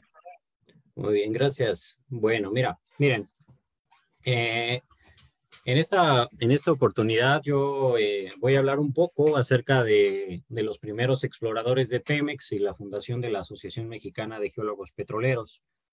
Eh, bueno, como a manera de introducción, me parece pues importante comentarles que como mi trabajo como parte de mi trabajo de investigación, eh, me, me, he interesado mucho por el trabajo de eh, los ingenieros, del gremio de ingenieros eh, mexicanos vinculados al desarrollo de las ciencias conexas a la industria del petróleo, entre ellas la geología del petróleo, la geofísica de exploración, la paleontología y por supuesto también como hace, bueno, un momento en la mesa anterior vimos, el desarrollo de otras ciencias aún más jóvenes como la oceanografía.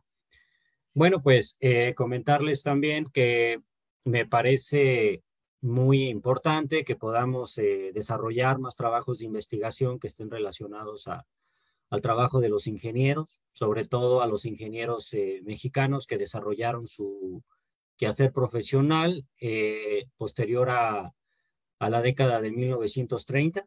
Me parece que es una historia un poco olvidada. Creo que la historiografía sobre el trabajo de los ingenieros, sobre todo se ha concentrado en el siglo XIX. Eh, trabajos muy importantes, eh, tenemos incluso en México investigadores eh, de reconocido prestigio que han trabajado estos temas. y sin embargo, me parece que hace falta ah, pues conectar esa investigación que es muy importante para conocer la historia científica y tecnológica de México en materia de, de, hidrocarburos en este caso, conectarla pues con el, con el devenir de las, de las generaciones más jóvenes que comienzan a figurar ya durante los las décadas de los 30, de los 40, de los 50. Y bueno, pues en ese sentido yo eh, presento justamente esta ponencia. Eh, antes que nada, pues me gustaría comentarles a manera de también de introducción que voy a concentrarme básicamente en la introducción del asociacionismo científico y tecnológico a México. Esto como una respuesta a los problemas de la exploración petrolera que tuvo Pemex, eh, la empresa eh, estatal de, del Estado que es creada posterior a, la, expropiación de la industria del petróleo en 1938. Eh, y bueno, yo lo que planteo es que este asociacionismo científico y tecnológico, pues justamente es como una respuesta a, a estos problemas que los primeros técnicos mexicanos tuvieron para encontrar más petróleo y así poder elevar las reservas de hidrocarburos que México necesitaba en ese entonces para poder sostener un proyecto de industrialización a gran escala, ¿no? Eh, en este sentido, entonces, eh, comenzaré diciendo que, pues, unas pequeñas reflexiones eh, relacionadas justamente al asociacionismo científico y tecnológico y cómo este se va desarrollando a nivel internacional, Em, de manera tal que podemos arguir que el asociacionismo profesional entre actores ligados a la industria moderna del petróleo surge como una respuesta a la creciente complejidad científica y tecnológica que planteó la búsqueda de yacimientos comerciales de hidrocarburos.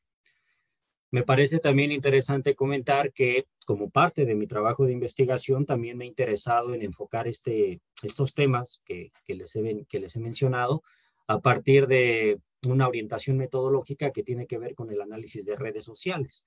En este caso, eh, pues a mí me interesa un poco más eh, enfatizar en cómo es que los, los hombres de ciencia, la gente que, que, generó este tipo de conocimiento vinculado a la industria del petróleo, este, cómo, es que, cómo es que lo comunicaban y un poco menos en lo que estos estaban comunicando, ¿no?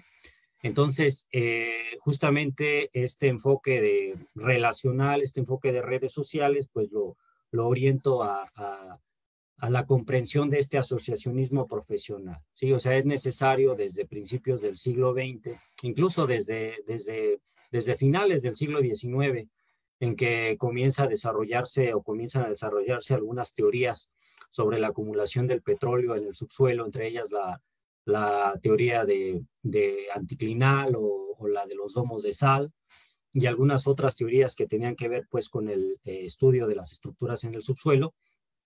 Cómo es de que todas estas teorías comienzan a desarrollarse fincadas justamente en estas redes de, sociabilización que estos hombres de ciencia o expertos en petróleo pues van eh, justamente eh, eh, articulando o estructurando quizás de manera inconsciente, pero que les permite justamente esta movilidad de conocimientos y que en el México del siglo XIX, cuando está la conformación de esta comunidad científica, digamos, una visión moderna de hacer ciencia, pues justamente embona de manera, pues digamos, este, embona muy bien en, ese, en ese clima, ¿no?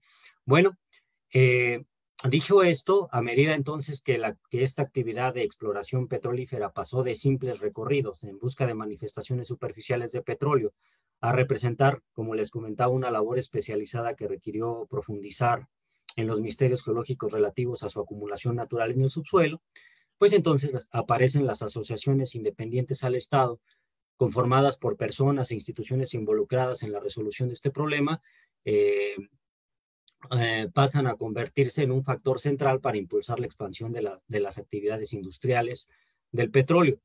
Eh, en este sentido, la asimilación de la exploración petrolera al objetivo de crear sociedades industrializadas se produjo junto a la necesidad de incrementar el desarrollo, eh, mejor dicho, el descubrimiento de yacimientos de petróleo y definió a un tiempo los propósitos fundamentales que este asociacionismo en adelante iba a tener. Estos objetivos se centraron en el fomento al progreso de las diferentes ramas de la geología, en especial de aquellas relacionadas a los hidrocarburos y otros fluidos subterráneos, así como el de las técnicas geofísicas, la paleontología y otras ciencias conexas, no sin dejar de lado el impulso al desarrollo y difusión de las tecnologías de exploración. Una función básica atribuible a estas asociaciones pues consiste en la construcción pionera de foros de disertación y controversias científicas sobre investigación petrolera, así como en la edición de publicaciones con una definición disciplinaria. Eh, y bueno, pues estas acciones fueron materializadas a partir de la estructuración de redes de sociabilización, como les comentaba hace un momento. Por otra parte, las asociaciones científicas y tecnológicas del petróleo surgen desde 1913 a nivel internacional, por supuesto, al fundarse en Inglaterra el Instituto de Tecnólogos del Petróleo. Eh, pocos años más tarde, en 1917, se crea en Estados Unidos la Asociación Americana de Geólogos Petroleros. Eh, y bueno, esta asociación, EPG, APG, fue la primera corporación de profesionales del petróleo en el continente americano. En la gráfica podemos ver eh, cómo durante la primera vuelta del siglo XX comienzan a aparecer estas asociaciones justamente impulsadas por el hecho de, la necesidad de encontrar más petróleo y una necesidad que estuvo directamente relacionada con la industrialización, tanto en Europa como en Estados Unidos, posteriormente a partir del 1900 en México, con la llegada de estas empresas eh, estadounidenses y, otras de origen inglés y holandés, que comienzan a buscar petróleo y que eh, gradualmente van ocupando de, la, de los hombres de ciencia que se dedican a la geología y a otras ciencias de la Tierra, pues justamente para poder, entre otras cosas, eh, mm, obtener mayor éxito en la búsqueda de hidrocarburos y también reducir los costos que significaba eh, pues ir a explorar y sin tener éxito, ¿verdad? Porque al final de cuentas la exploración también es una actividad que implica importantes derogaciones económicas. Bueno, eh, entonces, en la, en la gráfica podemos ver cómo empiezan a aparecer estas asociaciones. En 1930 aparecen en Inglaterra. Y bueno, también llamar la atención que en México, justamente, eh, México es pionero en el desarrollo de estas asociaciones, al menos para, para el caso de América Latina. Eh, justamente la asociación que yo estoy trabajando, la Asociación Mexicana de Geólogos Petroleros, se funda en 1949 y bueno, como lo, comento un poco más abajo, esta asociación es pionera en su tipo en México y en América Latina, aunque habría que acotar quizás que en 1928 se había creado la Asociación Geofísica de México, aunque habría que decir que esta asociación eh, eh, fue más bien orientada al desarrollo de conocimiento geofísico, pero aplicado tanto a la industria minera como petrolera. En el caso de la Asociación Mexicana de Geólogos Petroleros, su mm, objetivo principal fue desarrollar conocimiento científico y, e innovación tecnológica relacionada exclusivamente a, la industria del petróleo. Bueno, eh, aquí en la imagen, en esta, en esta diapositiva, les pongo algunos personajes interesantes de, eh, para el, el, surgimiento del asociacionismo científico del petróleo a nivel internacional. Del lado derecho podemos ver al experto en petróleo, al señor eh, Boberton Ridwood, que de hecho es el que impulsa la creación del Instituto de Tecnólogos del Petróleo.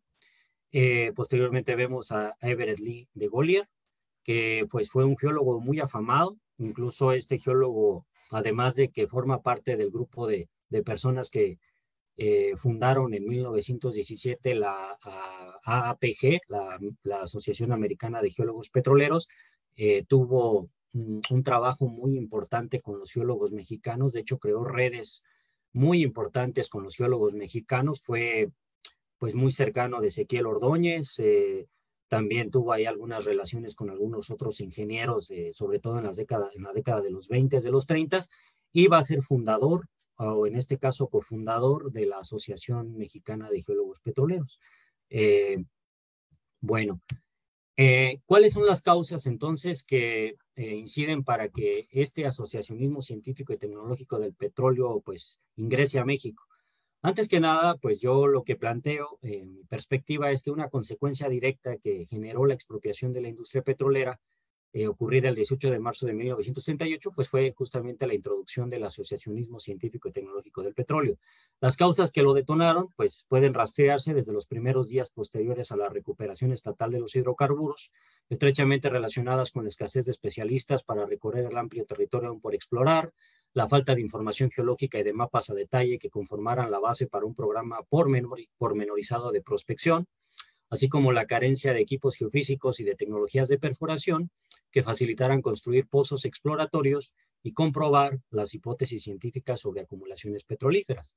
Aquí en la imagen eh, podemos ver eh, un mapa a la derecha. Eh, la riqueza petrolera de México históricamente ha estado concentrada, concentrada en la llanura costera del Golfo. En algún momento, desde 1908, el Instituto de Geología destinó algunos recursos para poder desarrollar exploraciones en la península de Baja California, eh, también en algunas zonas de Culiacán, del estado de Sinaloa, y un poco más eh, al sur, en el istmo, eh, más este, hacia Oaxaca. Pero bueno, realmente fueron, digamos, exploraciones que no surtieron efecto porque no se pudo encontrar petróleo a cantidades comerciales. Entonces, en este sentido, en el mapa lo que se muestra pues es toda esa zona que tiene que ver con la llanura costera del Golfo de México, que desde principios del siglo XX, incluso desde antes, se consideraba muy rica en petróleo. Lo que pasa es que como los técnicos mexicanos eran muy pocos después de 1938 y además no había la suficiente tecnología ni las suficientes herramientas para poder explorar y aún peor, no había ni siquiera la, suficiente tecnología como para perforar y de esa manera comprobar las hipótesis científicas que desarrollaban los geólogos, pues era más que imposible, eh, en este caso, pues elevar las, eh, las reservas de petróleo con que contaba el país, ¿no? Entonces, eh, aunado a estas causas, pues también estaban las dificultades institucionales de orden financiero que afectaron desde sus orígenes a la industria nacionalizada y que en conjunto con los factores antes detallados acarrieron consecuencias nefastas para el hallazgo de nuevos yacimientos de hidrocarburos a lo largo de la década de 1940. Bueno, eh, Frente a este panorama, entonces, el asociacionismo científico y tecnológico de los hidrocarburos fue esgrimido por sus principales forjadores, es decir, por el modesto grupo de ingenieros que conformaron la rama de exploración de Pemex, como una acción gremial y estratégica que además de permitirles aportar soluciones técnicas para incrementar la capacidad de exploración local, los situó como artífices de la investigación social de los hidrocarburos en México. Esto no es menos importante si se considera que a partir del impulso que imprimieron al desarrollo de la geología del petróleo, la geofísica de exploración y otras ciencias conexas, así como a su quehacer orientado a complementar la formación de cuadros técnicos, el financiamiento de publicaciones con una definición disciplinaria y la difusión de las innovaciones tecnológicas de perforación, se abrió paso la especialización de las diferentes ramas del petróleo en México. Esto es muy importante. Eh, Mm, digamos, para poner un poco de contexto, eh, yo personalmente considero que en México eh, hay una primera generación de ingenieros que se dedican al estudio del petróleo y es aquella que está conformada por Ezequiel Ordóñez, Juan de Dios Villarelo, entre muchos otros más, incluso varios que estuvieron adscritos al Departamento del Petróleo, que se creó en 1916. Digamos, esa es la primera generación de ingenieros que empieza a trabajar el petróleo de manera sistemática y eh, bueno, a, estos ingenieros yo los he llamado, por así decirlo, los expertos en petróleo, porque pues no tenían una formación universitaria como geólogos petroleros. Posteriormente a esta primera generación se desarrolla la generación que comienza a formarse desde, desde los años 20 y a esta generación justamente van a pertenecer estos personajes que ustedes pueden ver en su, en su pantalla. Eh, de derecha a izquierda podemos ver a Manuel Rodríguez Aguilar, eh, después eh, podemos ver a Antonio García Rojas, después a Manuel Álvarez Jr., posteriormente podemos encontrar a Eduardo José Guzmán Jiménez y finalmente a el señor Guillermo Pedro Salas Guerra. Estos ingenieros justamente forman parte de lo que yo he llamado la generación de la especialización, justamente porque son los que van a introducir este tipo de prácticas profesionales a México al plano, al plano nacional, es decir, ellos son los pioneros del asociacionismo científico en México, orientado justamente a, encontrar más petróleo y, a su vez, pues como es bien sabido, eh, poder en este caso facilitar el papel que se le delegó a Pemex desde sus inicios, que era pues el de eh, contribuir al desarrollo industrializador de México mediante eh, los productos derivados del petróleo, ¿no? Entonces, estos personajes destacan por el resto de los exploradores mexicanos, porque además de haber visionado tempranamente la importancia de procurar el diálogo entre pares y demás actores involucrados en el desarrollo petrolero nacional, eh, fueron los fundadores de la Asociación Mexicana de Geólogos Petroleros. ¿sí? Ellos son los que justamente el pequeño grupo de ingenieros que secundan la idea inicial de el señor ingeniero Manuel Rodríguez Aguilar. Eh, me parece que, bueno, también para comentar un poco, eh, Manuel Rodríguez Aguilar es considerado el padre de la exploración petrolera en México. Él funda el, el, reorganiza, es el encargado de reorganizar la exploración petrolera en México. Para Pemex funda el, el Departamento Central de Exploración en 1942 y después eh, tiene la idea de fundar la Asociación Mexicana de Geólogos Petroleros y esta idea justamente es secundada por estos cuatro hombres de ciencia que pueden ver en su, en su imagen, en la imagen, perdón. Bueno, eh, el asociacionismo científico, digámoslo así, tiene su germen en la celebración de convenciones de técnicos del Departamento de Exploración que comienzan a desarrollarse desde 1943. Eh, se desarrollan tres durante la década de los 40, en 1943, 1945 y 1948. Y justamente va a ser en la tercera convención de técnicos del Departamento de Exploración, celebrada en 1948, donde de acuerdo a, las fuentes históricas que he consultado, el ingeniero Manuel Rodríguez Aguilar, que es el que me vuelvo a regresar nuevamente a, esta diapositiva, el que podemos ver en el primero que aparece de derecha a izquierda, eh, quien tiene pues la, la, iniciativa de fundar esta asociación al ver el problema en el que se encontraba México de que no se habían encontrado realmente yacimientos importantes de petróleo desde 1938 hasta 1948 solamente se habían encontrado cuatro campos petroleros y eran campos muy pequeños entonces las reservas de petróleo no habían podido crecer y básicamente pues el proyecto industrializador estaba estaba en entredicho su continuidad. Bueno, finalmente entonces se funda esta Asociación Mexicana de Geólogos Petroleros en 1949 y bueno, pues cabría decir para finalizar que pues esta asociación eh, es la primera en México, como les había dicho, con excepción de la Sociedad Geológica Mexicana que se funda en 1944, es la más antigua eh, en México en alentar el progreso de la ciencia geológica, en especial la relacionada al petróleo y al gas natural, así como el de los métodos y las tecnologías para su exploración y explotación. Por otro lado, corresponde también al esfuerzo colectivo de estos socios fundadores el nacimiento del boletín de la AMGP, que es el órgano publicitario de la AMGP y que con posterioridad al boletín del petróleo y al boletín de petróleo y minas, concentró las más valiosas contribuciones sobre la geología del petróleo de México, las técnicas de exploración, y sus innovaciones tecnológicas, convirtiéndose rápidamente en la publicación de mayor prestigio editada en lengua castellana y en un importante recurso bibliográfico para incrementar el horizonte técnico de los exploradores mexicanos. Bueno, esto sería todo de mi parte entonces. Eh, me fui un poco rápido, pero eh, bueno, la, la, intención era hablarles un poco sobre esta sobre, esta, sobre cómo se da lo que es esta introducción del asociacionismo científico y tecnológico del petróleo a México. Bueno, eh, de esta manera entonces estaríamos llegando al final de esta segunda mesa del coloquio del estudio histórico de las ciencias, propuestas metodológicas para su investigación. Eh, pasaríamos entonces ahora a una ronda de respuestas, de preguntas y respuestas. No sé mm, si alguien aquí en, la mesa de los participantes tenga alguna pregunta, igual puedo dar también lectura a algunos comentarios que se han hecho en redes sociales. adelante, doctor Rodrigo. Muchas gracias, Freddy. Muy, muy interesantes todas las ponencias de esta mesa. Mi primera pregunta es para Irving Cuellar y es, ¿cómo has notado la receptividad de tus colegas o de los, las y los docentes en cuanto a cambiar muchos de los paradigmas de la enseñanza y el aprendizaje de la historia, más problematizado, ver los procesos, causas y consecuencias, menos memorística, menos de fechas, datos, eh, información, más, eh, pues, eh, dura y que luego a, a, las y los estudiantes, pues, no les, no les agrada tanto. Y la segunda es para ti, Freddy, y que si consideras que existe em, o que existió en estos años 30, 40 una, una impronta de las universidades de los estados, o sea, ahí también se empezaban a formar geólogos petroleros o estarían más bien ubicados en las instituciones educativas de la Ciudad de México. Si me podía repetir la pregunta, colega Rodrigo, porque se estaba diciendo ahorita la, el, Claro. Sí. Este, ¿qué, ¿qué, pregunta sería?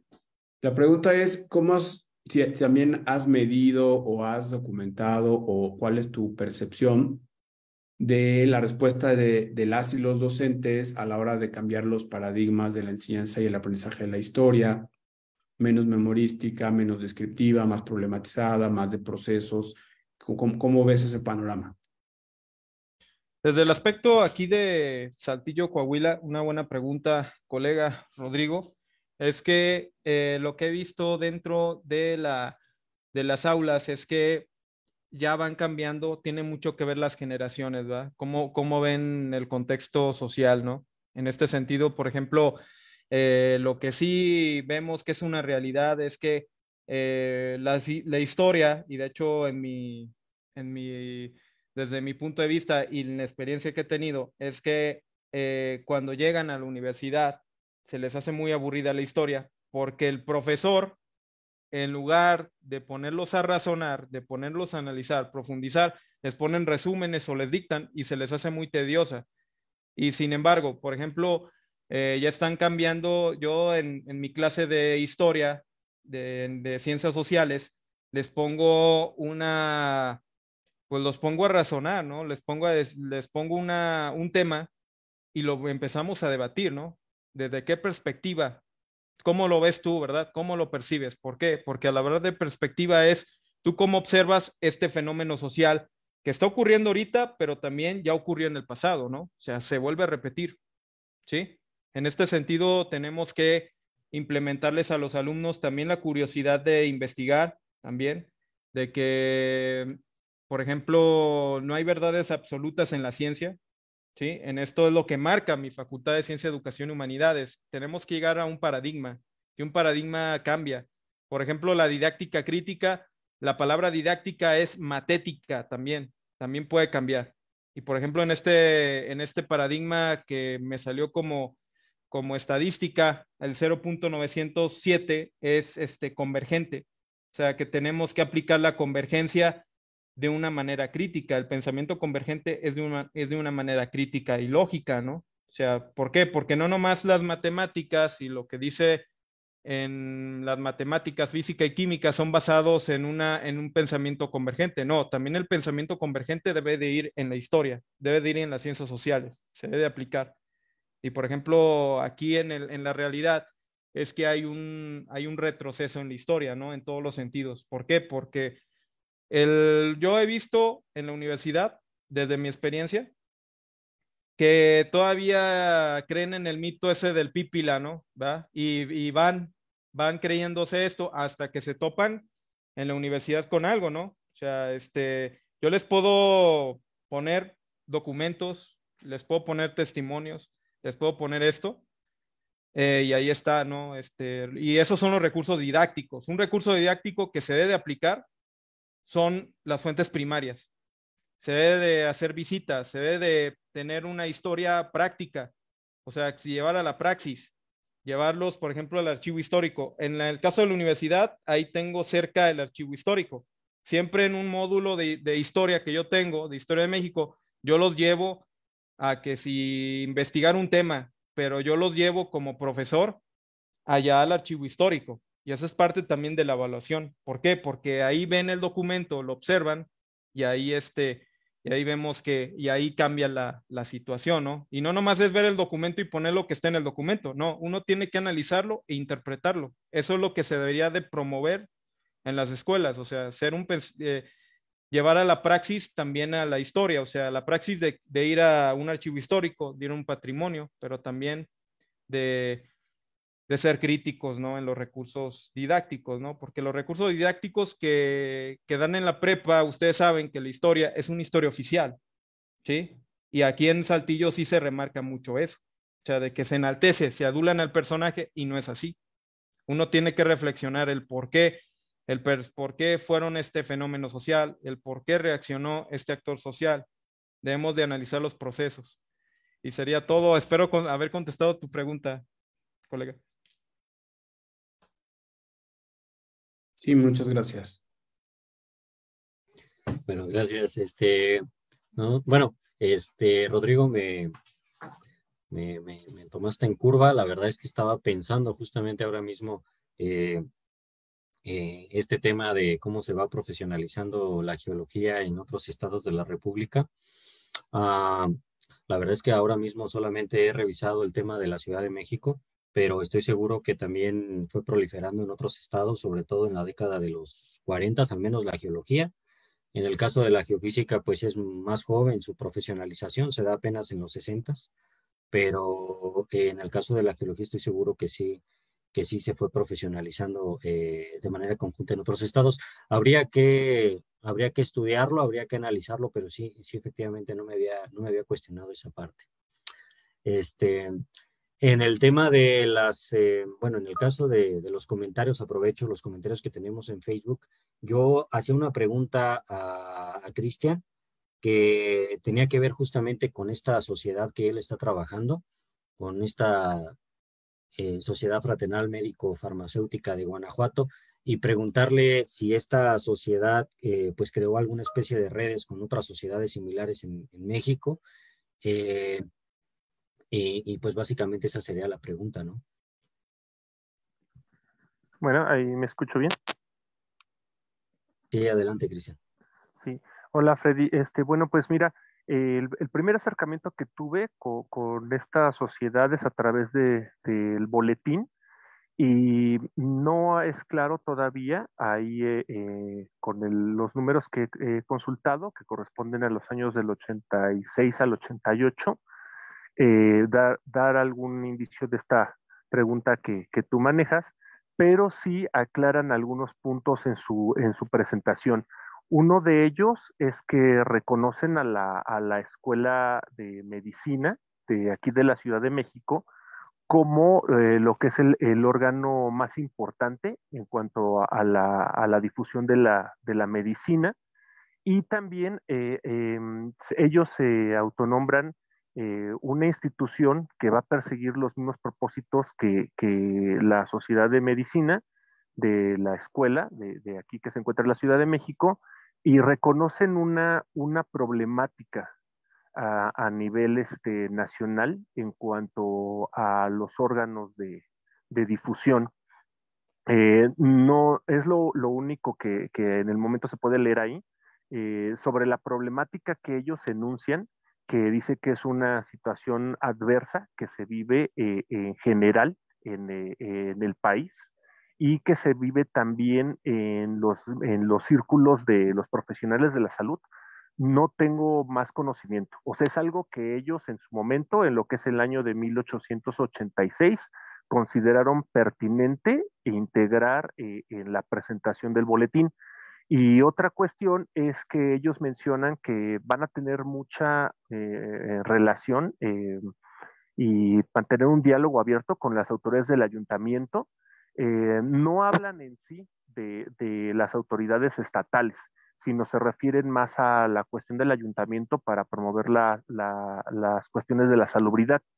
entonces, me atrevo yo a pensar que, esta problemática de la que ellos enuncian aparezca a lo mejor en una cuestión local en el estado de Guanajuato, pero ellos la reconocieron en, otra, en otras este, eh, sociedades de los científicos. Eh, es la única que, em, institución que, mencionan, aparte de la sociedad eh, eh, fraternal, que es la, Academia de, Medicina de la Ciudad de México. Mm, posiblemente en, otro, en otros este, boletines pueda aparecer, pero sí está claro que ellos trataban de tener esta, esta comunicación, tanto con las autoridades locales como con las otras universidades. De hecho, ellos en un apartado se mencionan, mencionan que se proclaman como el hermano menor de la, de la Escuela de Medicina de, la Ciudad de México y que con orgullo toman ese segundo lugar, ¿no? O sea, dice, o sea, nosotros nos hacemos conscientes de que, de que somos una institución con una historia y con un prestigio menor que el de la Escuela de Medicina, pero con orgullo tomamos este segundo lugar y nos ponemos al servicio de, no solo de, las cuestiones este, locales, sino también nosotros eh, tratamos de, hacer eh, segunda a, lo que son la difusión de las ciencias. Sí, muy interesante, Cristian, lo que nos comentas. Bueno, eh, pues habría, ya tenemos tarea este, nosotros con las preguntas que nos han hecho. Entonces, eh, bueno, pues nada más para finalizar, comentar también los comentarios que están aquí en Facebook. Julio César Alvarado Cortés envía éxito al maestro Irving. Eh, también Flor de María Medina nos comenta muy completa la investigación, maestro Netox, PC, excelente profe de historia. Y Rocío Peralta Becerril felicita a todos los ponentes. Bueno, con estos comentarios entonces estaríamos concluyendo esta actividad de la segunda mesa de, ponencias de este cuarto coloquio de investigación. Y bueno, pues entonces los estaríamos eh, invitando a nuestros amigos también de redes sociales, para que nos puedan acompañar a partir de las 5 de la tarde a la tercera y última mesa de este cuarto coloquio, el estudio histórico de las ciencias, propuestas metodológicas para su investigación. Y bueno, pues hasta entonces nos estaremos viendo. Que estén muy bien, hasta luego. Gracias. Gracias, nos vemos.